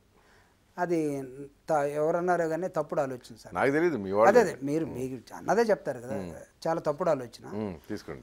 అలాంటి మనస్తత్వం కలిగినటువంటి వ్యక్తి కాదు. అయితే లే వాళ్ళు అన్నట్టుగా వీళ్ళు వీళ్ళు ఊకదంపుడు దానికి అతని సహకరించకపోవచ్చేమో. అనవసరంగా ఏదో చెప్తుంటే. కానీ చాలా స్పష్టంగా ఇప్పుడు మీరు కూడా సార్ మీరు psychology master and by not by virtue of degree. Not by virtue of degree ఎందుకంటే మీరు వ్యవస్థ నడుపుతున్నారు. వ్యవస్థ నడిపే క్రమంలో రకరకాల మనుషులు మీ దగ్గర ఉంటారు. మనిషిని మీరు చూడటంతో నిలువెల్ల స్కాన్ చేయగలరు. తర్వాత ఎక్స్రే పట్టుకొని ఇది ఎలాంటి వాడు రెండోసారి పక్క కూడా పెట్టగలరు లేకపోతే తీసుకోగలరు.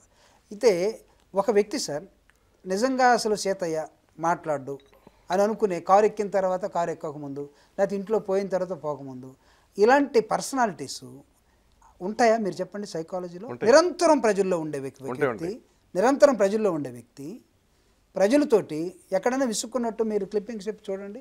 పొరపాటును కూడా విసుకురు వాళ్ళు లేదు కదా? విసుకోరు అంటే ఉంటారని చెప్పదలుచుకున్నారు మీరు? ఖచ్చితంగా. మాకైతే మీ అంత అనుభవం మాకైతే లేదు అప్పుడే కదా ఇప్పుడే కదా కొంచెం కొంచెం కదా. కానీ జగన్ గారిలో మేము మాత్రం ఇలాంటి వీళ్ళు చెప్పినట్టుగా ఒకసారి ఒక విధంగా ఇంకోసారి ఒక విధంగా ఆ ఉండే మనసు అయితే మేమైతే అనుకోవట్లేదు. నేను నేను నేను చాలా స్పష్టంగానే మన ఇద్దరం మాట్లాడుకున్నట్టే చాలాసార్లు మాట్లాడాను. దళితుల విషయంలో కానీ రైతుల విషయంలో కానీ లేకపోతే తను చేస్తున్న దీక్షల్లో కానీ లేకపోతే ఉద్యమం మీ పార్టీ ఎలా వెళ్ళాలి కానీ దీనిలో చాలాసార్లు మాట్లాడాను. నేను నేను నాకు ఆ- స్కోప్ లేకపోతే నేను కూడా ఉండలేను సార్ అసలు. నా మెంటాలిటీ కూడా ఏంటంటే హార్ట్ఫుల్గా మాట్లాడాల్సిన అవసరం ఉంది. అలా ఉండగలిగితే నేను ఎంతకాలం ఉంటారో అది కూడా చూద్దాం. అంటే నేను అసలు రాజకీయాలే నిరంతరంగా ఉండాలని ముందు జాగ్రత్తగా ఇచ్చి అది ఏ పార్టీ అయినా ఉండాలనుకోలేదు అర్థమైంది నాకు. ముందు జాగ్రత్త స్టేట్మెంట్ ఎందుకు ఇస్తున్నారో ఇందా నుంచి అనుకుంటున్నా. ఒక ఏడాది రెండేళ్ళకి ఉండనివ్వరు కదా సార్ ఎక్కువగా ఎక్కువ కాలం కూడా. ఉండనివ్వరు కదా. కొత్త వాళ్ళు వచ్చిన తర్వాత ఏమవుతుందంటే ఏదో రోజు స్టార్టింగ్ చెప్పేవాళ్ళు లేకపోతే ఈ దరిద్రం ఒకటి ఉంది కదా. మనకేమో అది లేదు అసలు. పని చేయటం పని చేసి ఈ విధంగా ఉండాలని కోరుకోవటం. లేకపోతే ఘర్షణ వాతావరణం వస్తే కామ్ అయిపోవటం. నేను అసలు జనము. అవినీతిని పట్టించుకోరన్న నిర్ణయానికి మీరు ఎప్పుడు వచ్చారు మీ పార్టీ వాళ్ళందరూ? ఒక అంటే జనరల్గా ఉన్న పెద్ద డౌట్ అందరికీ. అంటే ఏ ధీమాతో జూపూడి ఆయనతో కలిసి ఉంటాడో లేకపోతే పలానా వాడు కలిసి ఉంటారు పలానా వాళ్ళు కలిసి ఉంటారు అనేది ఉంటుంది కదా. ఆ ప్రశ్న వచ్చినప్పుడు వీళ్ళకి ఎవరికి అంతు పట్టింది జనం అవినీతిని పట్టించుకోరు అన్న విషయం ముందుగానే వీళ్ళకి ఎట్లా తెలిసింది? మిగతా వాళ్ళందరికీ ఇప్పుడు తెలిసింది. సార్ ఇప్పుడు మీరు అంటే జనం అవినీతిని పట్టించుకోరు అనేది నిజం కాదు. ప్రపంచ దేశాల్లో అనేకమైనటువంటి ముఖ్య ప్రధానమంత్రులు కానీ అధ్యక్షులు కానీ అవినీతి కుంభకోణం ఉన్నప్పుడు దిగిపోవటం జరిగింది. ప్రపంచ దేశాల్లో? ప్రపంచ దేశాలు ఇక్కడ కాదు. నో భారతదేశంలో కూడా. నేను అది వదిలేండి పాపం రాజీవ్ గాంధీ అంతా కలిసి తిప్పి తిప్పి కొడితే అసలు ఆ డీల్ వాల్యూనే అరవై కోట్లు. కాదు. అంటే అవినీతిని పట్టించుకోకుండా ఉండే జనం లేరు. పట్టించుకొని జనం ఉన్నారు ఉన్నారు కాబట్టి దాన్ని కనిపెట్టి మేము పోతున్నాం అనేది మీ మీ ఆలోచన వేరు. అంటే ఈ రాష్ట్రం వరకు ఈ రాష్ట్రంలో కూడా పట్టించుకుంటారు సార్. అవినీతిని ఎందుకు పట్టించుకోరు?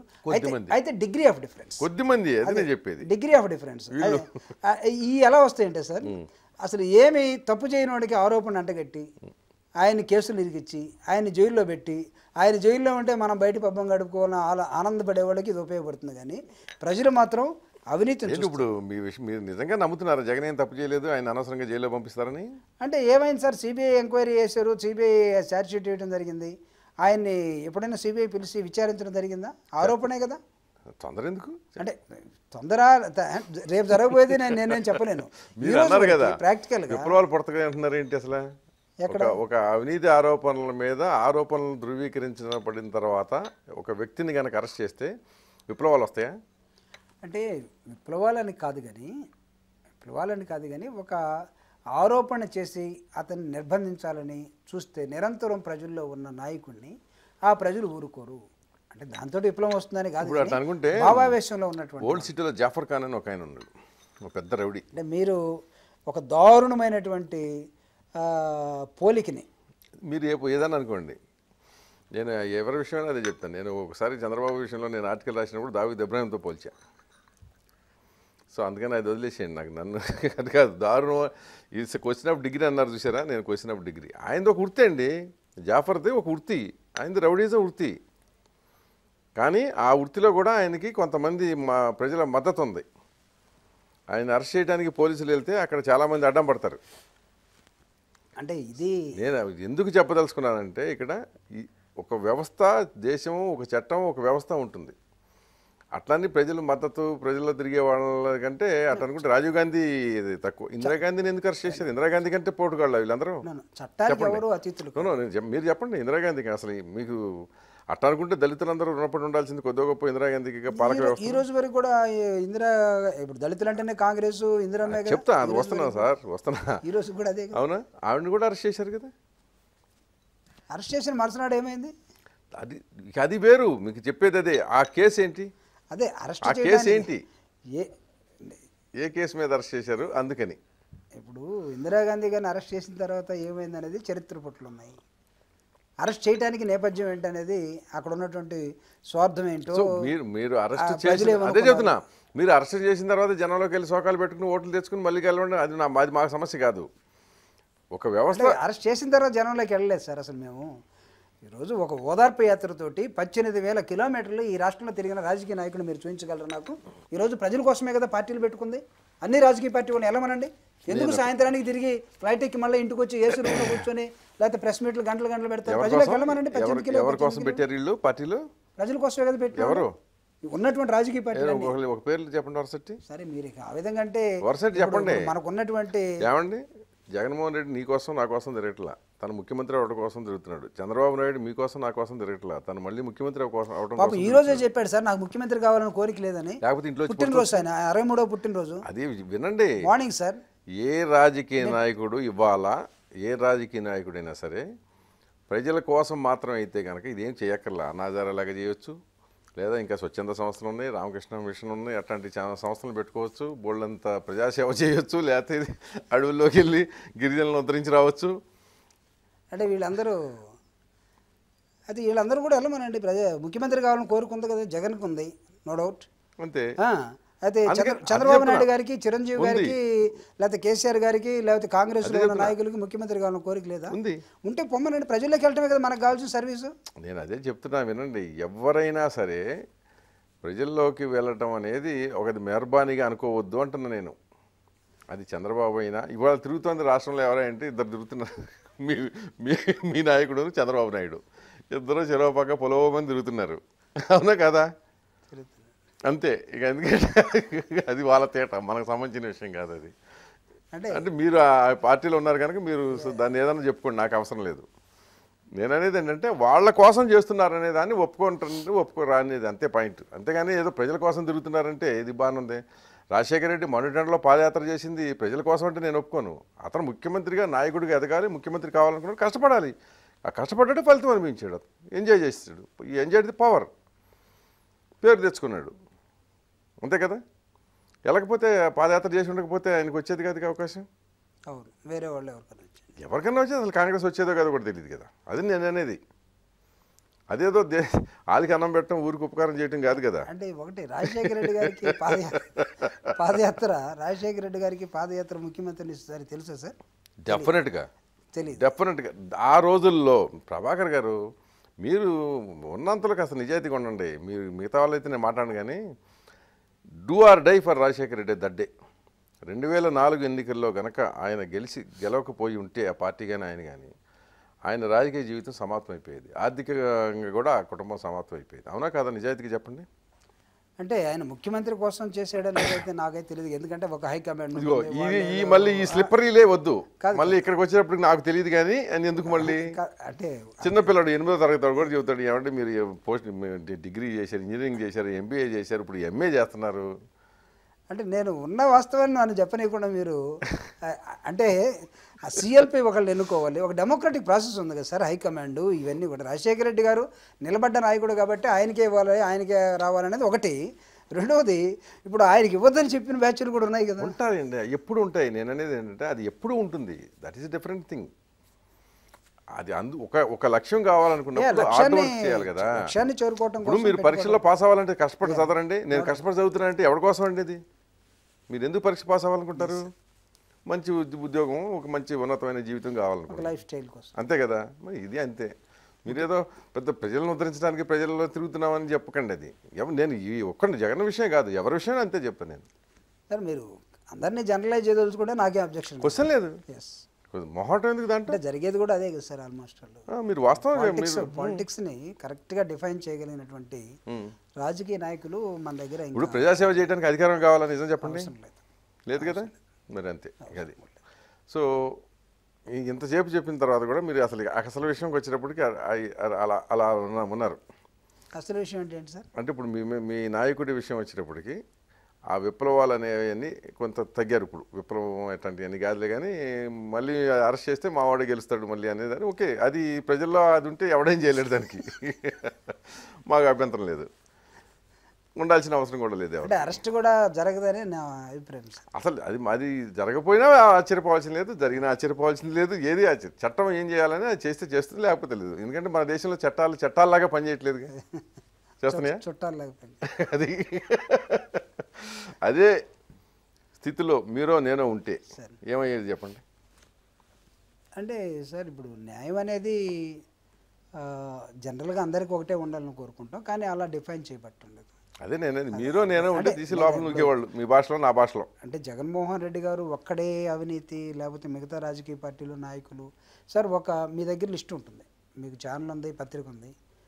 గత ఒక ముప్పై నలభై దొంగ దొరకపోతే దొర కదా కాదు. దొరక అంటే జైలు పంపాల్సిన అవసరం లేదు లేకపోతే ఇంకోటి చేయని అవసరం కూడా. మీరు తీయండి సార్. ఇప్పటి వరకు దాదాపు మనం ఒక పదిహేను జనరల్ ఎన్నికలు జరుపుకున్నాం. సో మన స్వతంత్రం వచ్చినప్పటి నుంచి ఇప్పుడు దాకా. అంటే అరవై సంవత్సరాలు అంటే పన్నెండు ఐదులు అరవై. పదిహేను జరిగినాయి కాబట్టి మధ్యలో మిడ్ టర్మ్ పోల్స్ అన్నీ వచ్చినాయి. అంటే దాదాపు మూడు వందలు ఇంటూ పదిహేను. పదిహేను మూడు నలభై ఐదు. అంటే నాలుగు వేల ఐదు వందల మందిని మనం అసెంబ్లీకి పంపించాం. కొత్త పాత కలిపి. కొత్త పెద్ద గెలిపారు నాలుగు వేల ఐదు వందల మందిలో వాడు రాజకీయాల్లోకి వచ్చినప్పుడు వాడు ఒక అప్పుడు ఇస్తాడు కదా ఎలక్షన్ కమిషన్కి నా ఆస్తి ఎంత? రాజకీయాల నుంచి ఐదు సంవత్సరాలతో బయటికి పోయేటప్పుడు వాడు ఆస్తులు బయటికి తీయమనండి? ఇప్పుడు వాళ్ళు కానీ అప్పుడు వాళ్ళు చాలా మంది అట్టగా ఉన్నారు. అప్పుడు వాళ్ళలో. మహానుభావులు ఉన్నారు సార్ నేను చెప్తున్నా. అంటే అప్పట్లో ఇప్పుడు పుచ్చలపల్లి సుందరయ్య గారు ఉన్నారు తరిమల నాగిరెడ్డి గారు ఉన్నారు మా మాణిక్యరావు ఇప్పటికి- గారు బతుకున్నారండి. ఎస్ బతుకున్న వాళ్ళు కొంతమంది. ఈ రోజు కూడా ఆ, వాళ్ళకున్న రెండు ఎకరాలు దున్నుకొని బతుకున్న నరా రాఘవరెడ్డి ఉన్నారు అనుకోండి. Yes. ఆయన ఎప్పుడు ఏమీ పాలు లేకుండా పిండుకుని ఏదో గుమ్మడి ఆయన- నరసయ్య గారు ఉన్నారు.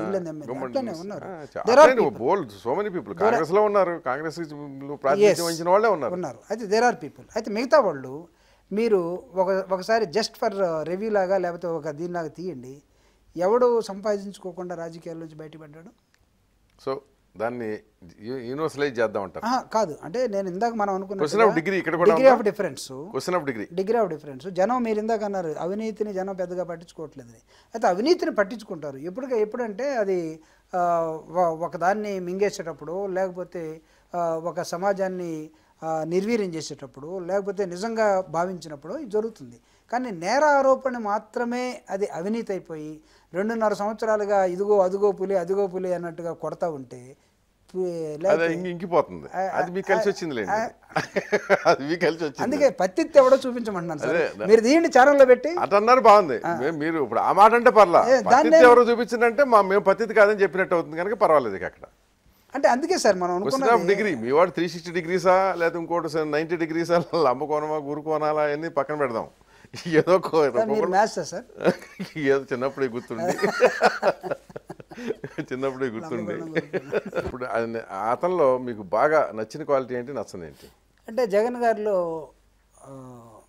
ఉన్న విషయాన్ని చాలా స్పష్టంగా ముఖం మీద చెప్పేస్తాడు సార్. దాచుకోవటం కానీ సపోజ్ నేను ఇదిగో ఈ విషయం పలానా సరిగా అతను చేయట్లేదు ఏమో ఎట్లా ఉందని అన్నాం అనుకోండి. వెంటనే అతను పిలిచి ఇదిగో అన్న ఈ విధంగా అంటున్నాడు ఏం జరుగుతుంది వెంటనే అయిపోతుంది అక్కడ. దేర్ ద మ్యాటర్ అదైతే అంటే రాజకీయాలకి అది నచ్చుతుందో లేదో నాకు తెలియదు కానీ ఇష్యూస్ సెటిల్ అవటం మాత్రం ఆ ఒపీనియన్ ఇన్స్టంట్ జస్టిస్. ఎస్ ఇన్స్టెంట్గానే అక్కడ జరిగిపోతుంది. అది. నాకు ఒకటి నచ్చింది ముఖం మీదే చెప్పగలడు. నచ్చింది? అంటే నచ్చని అంటే అంత లోతు దాకా మేము దగ్గరగా ఇవన్నీ ఎప్పుడవుతాయంటే సార్ అధికారం వచ్చిన తర్వాత. చాలామంది దగ్గర చేరి భజన పనులు ఇప్పుడు ఉన్నారు కదా. లేకపోతే ఇప్పుడు కూడా ఉండొచ్చేమో కానీ అంటే ఆ లిస్టులో వాళ్ళని దగ్గరగా చూసేదాకా వెళ్ళలేదు. అంటే ఒక పార్షియల్ మైండ్ తోటి ఉండి ఇంపార్షియల్గా ఉండాలని కోరుకునే నాలాంటి వాళ్ళకి ఒకవేళ అది కనపడితే అప్పుడు కూడా చెప్తాను నేను. ఇది కాదు ఇలా ఉండకూడదు ఇలా ఉండకూడదు అని అది కాదు అది కాదు. మీరు దగ్గర దగ్గరికి వెళ్ళి చూడలేదని చెప్తారు. ప్రకాశం జిల్లాలో టూర్కి వచ్చినప్పుడు మిమ్మల్ని ఆయన దగ్గరికి రానివ్వలేదని చెప్పి మీరు రుసరుసలాడిన సందర్భాలు ఉన్నాయి. చీచి ఇది తప్పుడు. ఇవన్నీ అసలు. సార్ ఎందుకంటే నలభై ఐదు రోజులు ప్రకాశం జిల్లా ఓదార్పు యాత్రలో తన కారులో ముందు సీట్లో తను వెనక సీట్లో నేను. దాదాపు తొమ్మిది వందల నాలుగు బహిరంగ సభల్ని నేను అడ్రస్ చేసిన తర్వాత నా తర్వాత మైక్ తీసుకున్నాడు. ఏ రోజు కూడా పాపము నేను ఎప్పుడన్నా కళ్ళు కలకొచ్చేసి తను ఒక నాలుగు రోజులు బాగలేకుండా ఉన్నాడు. ఆయనకు వచ్చిన పది రోజులకి నా కళ్ళు కలకొచ్చి నేను ఒక నాలుగు రోజులు చేసి వచ్చింది ప్రచారం? మీరు ఎందుకు అన్నట్టు లేదు. అది అందుకే ఎవరన్నా మనసు కష్టపెట్టుకున్నట్టుగా లేదు సార్ అసలు ఎవరు నేను ఆ నాలుగు రోజులు లేకపోతే అన్న ఎక్కడున్నాడు ఆయన కనుక్కున్నాడు కానీ అసలు ఇక్కడ విసుక్కోవటం కానీ లేకపోతే నేను ప్రకాశం జిల్లాలో కూడా ఎవరికి పడదుగా మీరంటే? అంటే నాకు అర్థం కాలే. అందరూ ప్రకాశం జిల్లాలో జగన్మోహన్ రెడ్డి గారితో రాజశేఖర రెడ్డి అభిమానులు వచ్చిన వాళ్ళే ముగ్గురు. బాలినేని శ్రీనివాసరెడ్డి గారు దర్శి ఎమ్మెల్యే శివప్రసాద్ రెడ్డి గారు నేను. ఇంకా మాలో ఉన్న టీంలో ముగ్గురు నలుగురు ఉన్నాం ఇంకా మిగతా చిన్న చితక లీడర్లు ఉన్నారు కదా. వాళ్ళు రాలేదు కదా సార్ అసలు. ఆ- ఎమ్మెల్యేలు ఎవరు కూడా రాలేదు. ఎమ్మెల్యేలు కాదు ఎమ్మెల్యేలు వదిలేసేయండి. ఇంకా నాయకులు అక్కడ నాయకులు లోకల్గా నేనంటూ పడినోళ్ళు ఒకళ్ళ నాకైతే తెలియదు నేను ఎందుకంటే నా లిమిట్స్లో నేను ఉంటాను. చాలా జాగ్రత్తగా నేను పని చేసుకుని వెళ్తాను. మీకు తెలుసు కదా సార్ నేను కాన్సన్ట్రేషన్లోకి వెళ్ళను. నచ్చకపోతే మానేస్తాను. అంతేగాని ఘర్షణ వాతావరణంలోకి వెళ్ళి వెళ్ళి రాజకీయాలు చేయాలని నేను ఇంత స్పిట్ పర్సనాలిటీ ఎక్కడ డెవలప్ చేసుకున్నారు? అంటే స్ప్లిట్ అని కాదు కానీ ఒరిజినల్ మనస్తత్వం అట్లా ఉంటుంది సార్. ఇప్పుడు మా అమ్మ నాకు చిన్నప్పుడు ఎట్టి పరిస్థితుల్లో అబద్ధం ఆడకూడదని చెప్పింది. అది మరి అబద్ధం అది ఇప్పుడు దాకా ముప్పై సార్లు చెప్తారు. ఆహా, జనరల్గా తెలిసి మనం అబద్ధం ఆడాల్సిన అవసరం అది అది మళ్ళీ అదేమంటే అది ఒక క్లాస్ పెట్టుకోవటం. ఏదైనా ఇది అబద్ధం చెప్పారు కదండి అది తెలియ చెప్పి ఉంటాను అని కాదు అసలు అది జరగలేదు కదా. ఇప్పుడు నేను అనుకున్నది తెలిసి చేస్తున్నాను అనుకుంటే తప్పు అవుతుంది సార్. తెలియకుండా చేసే మానవ మహత్తులు కదా ఒకవేళ. అది మీకు నేను నాకు తప్పు కనపడచ్చు నాకు అది తప్పు కనపడకపోతే after all we are all human being ఏం పర్లేదు మహామేధావి. చూపుడు నాకు అనుమానం లేకుండా. ధృవీకరణ అయింది. క్వశ్చన్ లేదు. ఇక ఎందుకంటే అసలు ఆ నేపథ్యం ఉన్న వాళ్ళు ఎవరైనా సరే ఇది ఇది ఈ లక్షణాలు అబ్బించుకోకపోతే కొండ బద్దలు కొట్టి మాట్లాడేస్తూ ఉంటారు. తప్పో ఒప్పో ఏదైతే అది అయింది. అంటే వాస్తవాలు చేదుగా ఉంటాయంటారు సార్. అదే వాస్తవాలు చేతిగా ఉంటాయి కనుక మీరు అన్ని అవి అంటే మీ మీ పర్సెప్షన్ డిఫరెంట్ నా perception different. Perception maybe different ఎందుకంటే- fact remains fact. Yes it's always always అది ప్రకాశం జిల్లాలో నేనంటే పడదు అని అంటే ఒకళ్ళు చెప్పండి. అంటే నేను నాకు ఉన్న ఇన్ఫర్మేషన్ చెప్తున్నా. అంటే నిజమా కాదని అసలు అలాంటి ఇప్పుడు దాకా ఎందుకు ఎందుకు లేదంటే మీరు అన్నట్టు నిజమవుతుంది ముందు ముందు నేను ప్రకాశం జిల్లాలో నేను ఇంపార్టెంట్ రోల్ పాలిటిక్స్లోకి వస్తే ఒకవేళ అలాంటి ఎలిమెంట్స్ ఏమైనా డెవలప్ అవ్వచ్చేమో. ఈ రోజు వరకు నేను ఆ ఇంపార్టెంట్ రోల్లో లేను అక్కడ. ఇన్ఫ్లుయెన్స్ చేసే రోల్లో కూడా లేను. అందుకని సేఫ్గా ఉన్నారు. అందుకని ఉండొచ్చేమో. సేఫ్గా ఉన్నారు. అసలు పార్టీ ఆఫీసులో కూడా కొన్ని అంతస్తులోకి మీకు ప్రవేశం లేదంటారు నిజమేనా? అంటే మీకంటే? మీకు. అసలు అక్కడ అంతస్తులు అనేవి లేవు number one. First first floor. First ఫ్లోర్లోకి నిరంతరంగా ఎక్కి దిగే వాళ్ళలో నేను ఒకడిని. ఏదైనా విషయం ఉన్నప్పుడు మాట్లాడటం కానీ. అంటే మీకు రాంగ్ ఇన్ఫర్మేషన్ ఎవరు ఇస్తున్నారు మాకైతే అర్థం మీ కాదు. వాళ్ళు ఎవరు అక్కడ? అదే అదే మామూలు అక్కడ చాలా అంతస్తులు ఏమి లేవు. అదేదో రెంటెడ్ బిల్డింగ్ ఫస్ట్ ఫ్లోర్ ఉంది. గ్రౌండ్ ఫ్లోర్లో చాలా మంది ఉంటారు. ఫస్ట్ భాగ్యం. ఫస్ట్ ఫ్లోర్లో ఒకరిద్దరు రామకృష్ణారెడ్డి గారు సుబ్బారెడ్డి గారు వీళ్ళు ఉన్నప్పుడు ఏదైనా విషయం ఉన్నప్పుడు పోయి మాట్లాడి పైకి పైకి వెళ్ళి మేము నిరంతరం పైన కూర్చుని బ్యాచ్ కూడా కాదు. కింద కూర్చొని మాట్లాడి అవసరం ఉన్నప్పుడు పైతో వాళ్ళతో మాట్లాడి వాళ్ళు కూడా కిందకు వస్తారు. మేము ఎందుకు వెళ్ళకూడదని మీరు ఫైట్ చేశారా లేదా అక్కడ మీకు కూడా ఏదైనా క్యాబిన్ అలాంటి సో క్యాబిన్లన్నీ అక్కడ వాళ్ళకేనా? సుబ్బారెడ్డి లేదు సార్ అక్కడ క్యాబిన్ కూడా ఏం? లేదు. ఒకటేమో టీవీ ఉన్న రూమ్ ఉంటుంది. రెండోది ఇంకొక రూమ్ ఉంటుంది. మ్మ్. కాన్ఫరెన్స్ హాల్ అవుతుంది జగన్. గారు వచ్చినప్పుడు అంటే జగన్. గారికి ఒక రూమ్. అంతే. ఈ నాలుగు తప్ప ఏం లేవు. అంటే వీళ్ళు పైన కూర్చున్నప్పుడు అందరు వెళ్ళి పైన వెళ్ళి మాట్లాడుతుంటారు. పార్టీ కదా సార్ ఇది. కొంతమంది పైకి రావాలో కొంతమంది మాట్లాడుతూనే ఉంటారు. నిరంతరంగా చర్చలు జరుగుతూ ఉంటాయి. అది ఇవన్నీ ఎవరన్నా కొనుక్కొచ్చి చెప్పినట్టు ఉంది. ప్రభాకర్ మీ దగ్గరికి వస్తాడు కాబట్టి అడగండి. ఏం అడగాల వీడిని. అలాంటిది ఒకటి వచ్చి అట్లా లేదు. ఉంటే అదేముంది ఉంటే నిజమైతే నిజం ఉంటే కొన్ని. రాంగ్ ఇన్ఫర్మేషన్ కూడా రావచ్చు కానీ దానికి ఎందుకంటే పార్టీలో ఎవరైనా పెయిడ్ లీడర్స్ ఉన్నారా? పార్టీ తరపున మాట్లాడినందుకు పార్టీ తరపున ఆర్గ్యుమెంట్స్ చేస్తూ ఉన్నందుకు అంటే పేమెంట్ లాగా ఆన్ పేమెంట్ పేరోల్స్లో ఉన్నట్టుగా లీడర్లని. నేనైతే అసలు అది కొన్నిసార్లు పత్రికల్లో రావటం కూడా జరిగింది. మేరే వాళ్ళ ఉపన్యాసాల్లో కూడా చెప్పడం జరిగింది. ఇది టోటల్గా రాంగ్ ఇన్ఫర్మేషన్. అంటే స్వచ్ఛందంగా వచ్చి పనిచేసే వాళ్ళు తప్పితే అక్కడ టోటల్ నెల జీతాలు తీసుకొని ఫుడ్ ఫర్ వర్క్ లాగా లేకపోతే ఎన్ఆర్ఈ జాబీ ప్రోగ్రామ్ లాగా ఇలాంటి వాళ్ళు అక్కడ ఆ ఇచ్చేవాళ్ళు లేరు. ఎందుకంటే పాపం పోతూ పోతూ జగన్మోహన్ రెడ్డి కానీ ఛాయ్ కూడా పోయడానికి తిట్టిపోయిన వాళ్ళు ఉన్నారు కానీ. నిజం కాదు అసలు అది. అంటే వాళ్ళు అయితే అన్నారు కదా సార్ అది పేపర్లో వచ్చింది. కానీ అది మాత్రం వాస్తవం కాదు. ఎందుకు? ఛాయ్ కూడా పోయారు అనేది ఎందుకంటే మేమందరం పోతాం. ఒకటి నాలుగు సార్లు పది సార్లు ఛాయ్ తాగుతారు టిఫిన్ చేస్తారు అన్నం తింటారు. అదే అన్యాయం అది. అన్నం పెట్టిన వాళ్ళని మనం ఇప్పుడు కూడా అనకూడదు అది. ఎవరైనా సరే. అది తప్ప. ఎక్కడ లోటస్ పాండ్ బిల్డింగ్లో అన్నం భోజనం చేశారా? అంటే మామూలుగా మీటింగ్స్ ఉన్నప్పుడు కలిసి భోజనం చేస్తుంటాం సార్. ఇక్కడ లోటస్ పాండ్లో? లోటస్ పండ్లను పార్టీ ఆఫీసులు అన్ని చోట్ల. అవి అంటే అసలు జగన్మోహన్ రెడ్డి గారు ఎవరిని రానివ్వడు లేకపోతే ఇవన్నీ టోటల్గా అపోహలు సార్. అంటే అపోహలు అంటే ఒకటి గుర్తుపెట్టుకోండి. ఆయన అసలు ఈ రాష్ట్ర రాజకీయాల్లో ఎవరితో కలవడం. ఆయన ఒక పార్టీ పెట్టుకున్నాడు కానీ ఇంతవరకు బహిరంగంగా ఏ ఒక్క ఇతర రాజకీయ పార్టీని తెలుగుదేశం వదిలేయండి పని శత్రువు అనుకుందాం శత్రుపక్షం కాంగ్రెస్ కొద్ది గొప్ప. కమ్యూనిస్టులు ఉన్నారు ఇంకోళ్ళు ఉన్నారు ఇంకోళ్ళు ఉన్నారు బట్ ఎవరిని కూడా ఆయన ఎవరితోనూ అసలు మింగిలి కాడు కదా. అందుకని ఏంటంటే అతను చాలా డిఫరెంట్ క్యారెక్టర్ అనేది ఒక అభిప్రాయానికి ఇప్పుడు దాకా వస్తాడు. ఇప్పుడు దాకా అవసరం కూడా రాలేదు సార్. ఇప్పుడు కమ్యూనిస్టులతోటి మింగిల్ కావాలన్నా లేకపోతే తెలుగుదేశంతో మాట్లాడాలన్నా ఒకవేళ రేపు ముఖ్యమంత్రిగా వచ్చినప్పుడు తెలుగుదేశం అపోజిషన్లో ఉంటే ఖచ్చితంగా మాట్లాడతాడు. ముఖ్యమంత్రిగా సమాధానం చెప్పాల్సిన అవసరం ఉంటుంది. ప్రతిపక్షంలో తెలుగుదేశం ఉన్నట్లయితే. ఒక- ఒకవేళ కమ్యూనిస్టులతో మాట్లాడాలంటే ఒకవేళ అలయన్స్ జరుగుతుందేమో. సో ముఖ్యమంత్రి అయితే తప్పితే ఎవరితో మాట్లాడడం? అసెంబ్లీలో ఉన్నప్పుడు. అదే లేకపోతే ఇప్పుడు ఏ రాజకీయ పార్టీ ముఖ్యమంత్రి అయ్యి వీళ్ళతో మాట్లాడాల్సిందే. లేకపోతే తుండు కూడా చదువుకుని ఇంటికి పోవటమే కానీ వీళ్ళతో మాత్రం మాట్లాడే సమస్య లేదు. నా అర్థం అది కాదు సార్. అంటే అన్ని పార్టీలతో మాట్లాడాల్సిన అంశాలు ఈ రాష్ట్రంలో ఏ రాజకీయ పార్టీకి ఎప్పుడు వస్తాయంటే ఎన్నికలు వచ్చినప్పుడు ఏదైనా అలయన్స్లో లేకపోతే ఒక కామన్ ప్లాట్ఫామ్ మీద ఒక కామన్ సబ్జెక్ట్ మీద వీళ్ళు ఫైట్ చేసే క్రమంలో అది ఏమైనా ఉంటే ఇప్పటి వరకు అది జరగలేదు. ఎవరు ప్లాట్ఫామ్ వాళ్ళది ఎవరు వర్క్ చేసుకుంటారు జరుగుతాయి? ఆయన ఒంటిగా ఆయన మాన ఆయన అంటే రాబోయే కాలంలో ఒకవేళ ఎన్నికలు అంటే జరిగి వస్తే అసెంబ్లీలోనే అందరితో ఒకే ఒక మిత్రుడు దొరికాడు రాష్ట్ర రాజకీయాలు అని ఒక ప్రచారం జరుగుతుంది. అది కేసీఆర్ తెలంగాణ రాష్ట్ర సమితి. వీళ్ళిద్దరి మధ్య అవగాహన ఎంతవరకు? సార్ మాకు నాకు తెలిసినంత వరకు జగన్మోహన్ రెడ్డి గారు కేసీఆర్ గారు ఇద్దరు కలిసిపోయి కుమ్మక్కై లేకపోతే కలిసి మాట్లాడుకుని చేసేది ఇది ఒక అపోహ మాత్రమే. ఇంతవరకు తను తెలంగాణలో ప్లేనరీ తర్వాత తెలంగాణ మీద తను చెప్పినటువంటి ప్రకటన కానీ తెలంగాణలో ఓదార్పు యాత్ర కానీ స్టార్ట్ కాలేదు. ఆ ప్రకటనకి ఆర్మూర్లో రైతుల కోసం ఒక దీక్ష చేయడం జరిగింది. తర్వాత హైదరాబాద్లో విద్యార్థుల కోసం ఫీజు రిమెంట్స్ కూడా చేయడం జరిగింది ఇది తప్ప ఆ, మన జగన్మోహన్ రెడ్డి గారు కేసీఆర్ గారు మాట్లాడుకున్నారని లేకపోతే వీళ్ళిద్దరూ ఒకటైపోయారని ఈ అపోహలు మాత్రమే కానీ నిజమైతే కాదు. నిజం కాకపోతే మీ పార్టీ ఎమ్మెల్యేలు ఆనాటి ఎమ్మెల్యేలు ఇప్పుడు రిజైన్ చేశారనుకోండి బాటంగా ఎందుకు చెప్తున్నారు? మేమిద్దరం కలిసిపోయాము మాకు అక్కడ ఒక వంద చిల్లరట వస్తాయి వంద వంద చిల్లర వస్తాయి ఇక్కడ కేసీఆర్కి ఒక అరవై డెబ్బై ఎనభై వస్తాయి మేము ఇద్దరం కలిసి గవర్నమెంట్ ఫామ్ చేస్తామని చెప్పారు చెప్తున్నారు. అంటే ఎవరైనా ఒకవేళ మీతో అటు తెలిసి తెలియక మీరే చెప్పారు కదా సార్ ఎవరితో కలవడని? ఆయన చెప్పిందని నేను అనలేదే.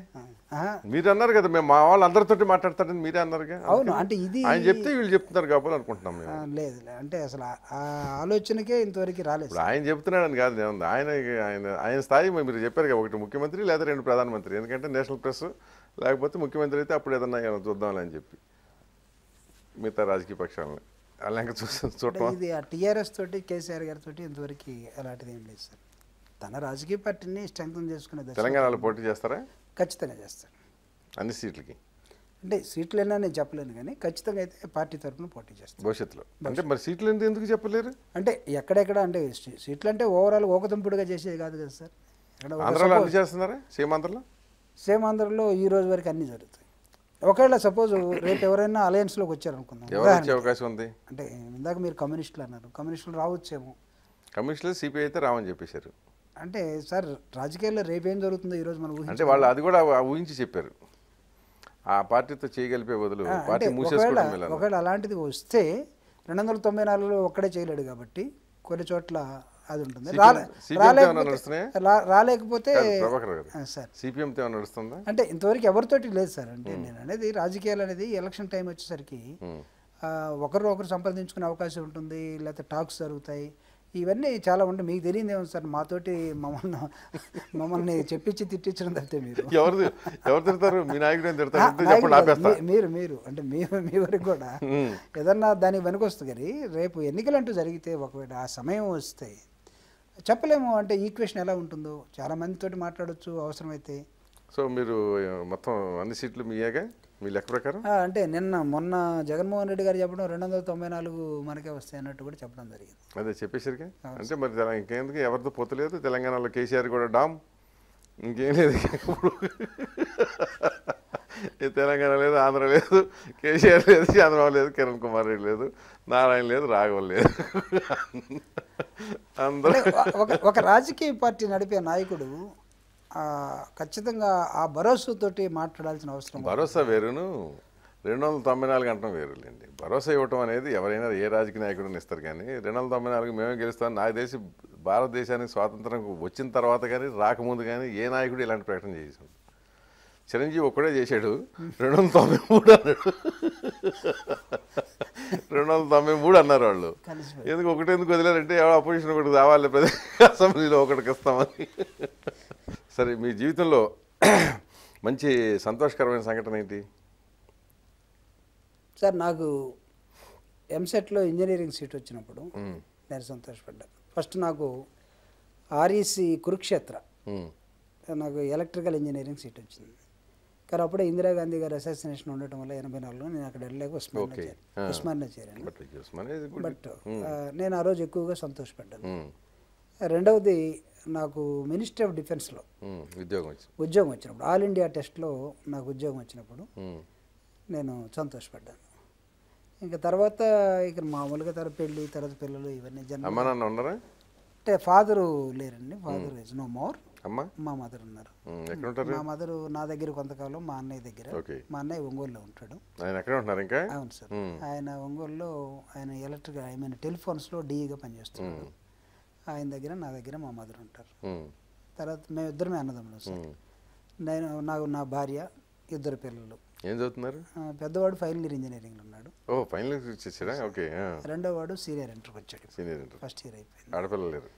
లేరు సార్. మా అన్నయ్యకి ఆడపిల్లలు లేరు నాకు లేరు. అవునా? మా మదర్ మేము కూడా మీకు కూడా మీకు అన్న అక్క చెల్లెలు లేరా? లేరు సార్. ఓకే మీకు అసలు అంటే మీ మీ వంశంలో ఎవరికి ఆడపిల్లలు లేరు? అందుకే మా చిన్నమ్మళ్ళ అమ్మాయిల్ని మేము మా చెల్లెళ్ళగా భావిస్తాం. అవునా? Okay okay. అదే తెలియదు సో అంటే మీకు అంటే మీ నేపథ్యం గురించి ఆ దృష్టితో అడుగుతున్నా. బాగా అవమానకరమైన పరిస్థితిని ఎప్పుడు ఎదుర్కొన్నారు? మీకు అంటే మనసు కష్టం వేసి కన్నీళ్ళు వచ్చేంత పరిస్థితి. అట్లాంటిది ఎప్పుడైనా జరిగిందా? మీకు అంత కన్నీళ్ళు వచ్చి అంత ఇది కాదు కానీ ఒకసారి నాకైతే ఏడ్చిన బాగా ఏడ్చిన రోజు ఏంటంటే టూ థౌజండ్ త్రీ నేను మా ఆఫీస్లో ఉన్నప్పుడు నేను కలకట్టా ఒక ఇన్స్పెక్షన్ పోవాల్సి వచ్చింది. ఫిబ్రవరి ఇరవై ఆరు అనుకుంటాను. నేను ఆల్మోస్ట్ రిజర్వేషన్ చేసుకొని రెడీ అవుతున్న సమయంలో నేను ఆఫీస్లో ఉన్నా మా వైఫ్ ఆఫీస్లో ఉంది. మా మదరు హార్ట్ అటాక్ తోటి ఇంట్లో సడన్గా పడిపోయింది. మా. రెండో వాడు యూకేజీలో ఉన్నాడు. వాళ్ళు వాళ్ళ అమ్మమ్మ వాళ్ళకి ఫోన్ చేసి నానమ్మ నేను హాస్పిటల్కి వచ్చి మా మదర్ని చూసినప్పుడు మాత్రం బాగా ఏడ్ చేశాను. ఆ, రోజు మాత్రం ఏడ్చాను తర్వాత మూడు రోజులు మా మదర్ దగ్గరే మహావీర్ హాస్పిటల్లో దగ్గరే ఉండి. డే అండ్ నైట్ తర్వాత ఆఫ్ కోర్స్ సీఈస్ నా ఓకే ఎందుకంటే ఆవిడ పొలాల్లో పనిచేసి చదివించింది sir. మిమ్మల్ని. అంటే మా అమ్మ పడ్డ కష్టం ఈరోజు కూడా తనకు లేకపోయినా మాకు పెట్టడం తర్వాత అసలు ఏమి లేకపోయినా ఎక్కడో చోట తీసుకొచ్చి మమ్మల్ని ఫీడ్ చేయటం. ఈ రోజుకి ఈరోజు మేము ఈ విధంగా ఉన్నామంటే మా మదరు దానివల్ల ఆ రోజు బాగా ఏడ్ ఏడవటం జరిగింది. అంతకన్నా తర్వాత అంత గొప్పగా బాధపడ్డ రోజు అయితే లేదు. లేదు ఇక వేరే పెద్దగా. లైఫ్ అంబిషన్ ఏంటి? అంటే లైఫ్ అంబిషన్ అంటే పాలిటిక్స్లోకి వచ్చున్నాం సార్ ఇప్పుడైతే. పాలిటిక్స్లో వచ్చి నిజాయితీగా ఉండాలనేది ఒక ప్రయత్నం చేస్తున్నాను. కానీ అందుకే రేపు ఎట్లా ఉంటుందో చెప్పలేను సార్. కొన్ని సెక్షన్ల మధ్య ఒక యూనిటీకి తీసుకురావడం ఫర్ ఎగ్జాంపుల్ మాలమాదిగల మధ్య యూనిటీ తీసుకురావాలని కోరుకునే వాళ్ళలో బలమైన కోరుకున్నాను నేను నంబర్ వన్ అది ఇది అచీవ్ చేయటం కోసం ఎవరెవరితోటి ఎలా ఉండాలా అనే దాని మీద ఒక ప్రయత్నం చేస్తున్నాను అది మీ లైఫ్ అంబిషనా? ఖచ్చితంగా నా అంబిషన్ లైఫా కాదు లేదా కొండపి నుంచి పోటీ చేయటమా? అంటే కొండపి నుంచి పోటీ చేయటం అంటే లాస్ట్ టైం రాజశేఖర రెడ్డి గారు నన్ను పోటీ చేయమన్నారు సార్. ఫస్ట్ టైం డీలిమిటేషన్ అయింది. నన్ను పోటీ చేయమన్నాడు. పోటీ చేయమని వెంటనే డబ్బులు ఎంత ఉన్నాయి అన్నాడు అప్పుడే నేను ఉద్యోగం నుంచి బయటకు వచ్చి నేను పదిహేడు సంవత్సరాలు చేసిన.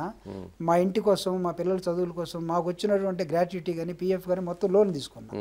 నేను రిజైన్ చేసి బయటకు వచ్చేటప్పుడు బిల్లేమి లక్ష డెబ్బై ఐదు వేల రూపాయలు నాకు వచ్చింది. డబ్బులు ఎంత ఉన్నాయంటే రెండు లక్షలు ఉన్నాయన్న. రెండు లక్షలు ఉన్నాయి తర్వాత చూద్దాలే పదాను ఆఫ్ కోర్స్ ఎమ్మెల్సీ రెండోసారి కంటిన్యూ చేశారు. అంటే కొండపి నుంచి చేయాలంటే డబ్బులు ఉండాలనేది నాకు correct. అయితే ఈ రోజు కూడా డబ్బులు అవసరమే. కానీ ఈ రోజు నాకు నా దగ్గర కూడా సేమ్ సిచ్యువేషన్ జగన్ ఇస్తాడా?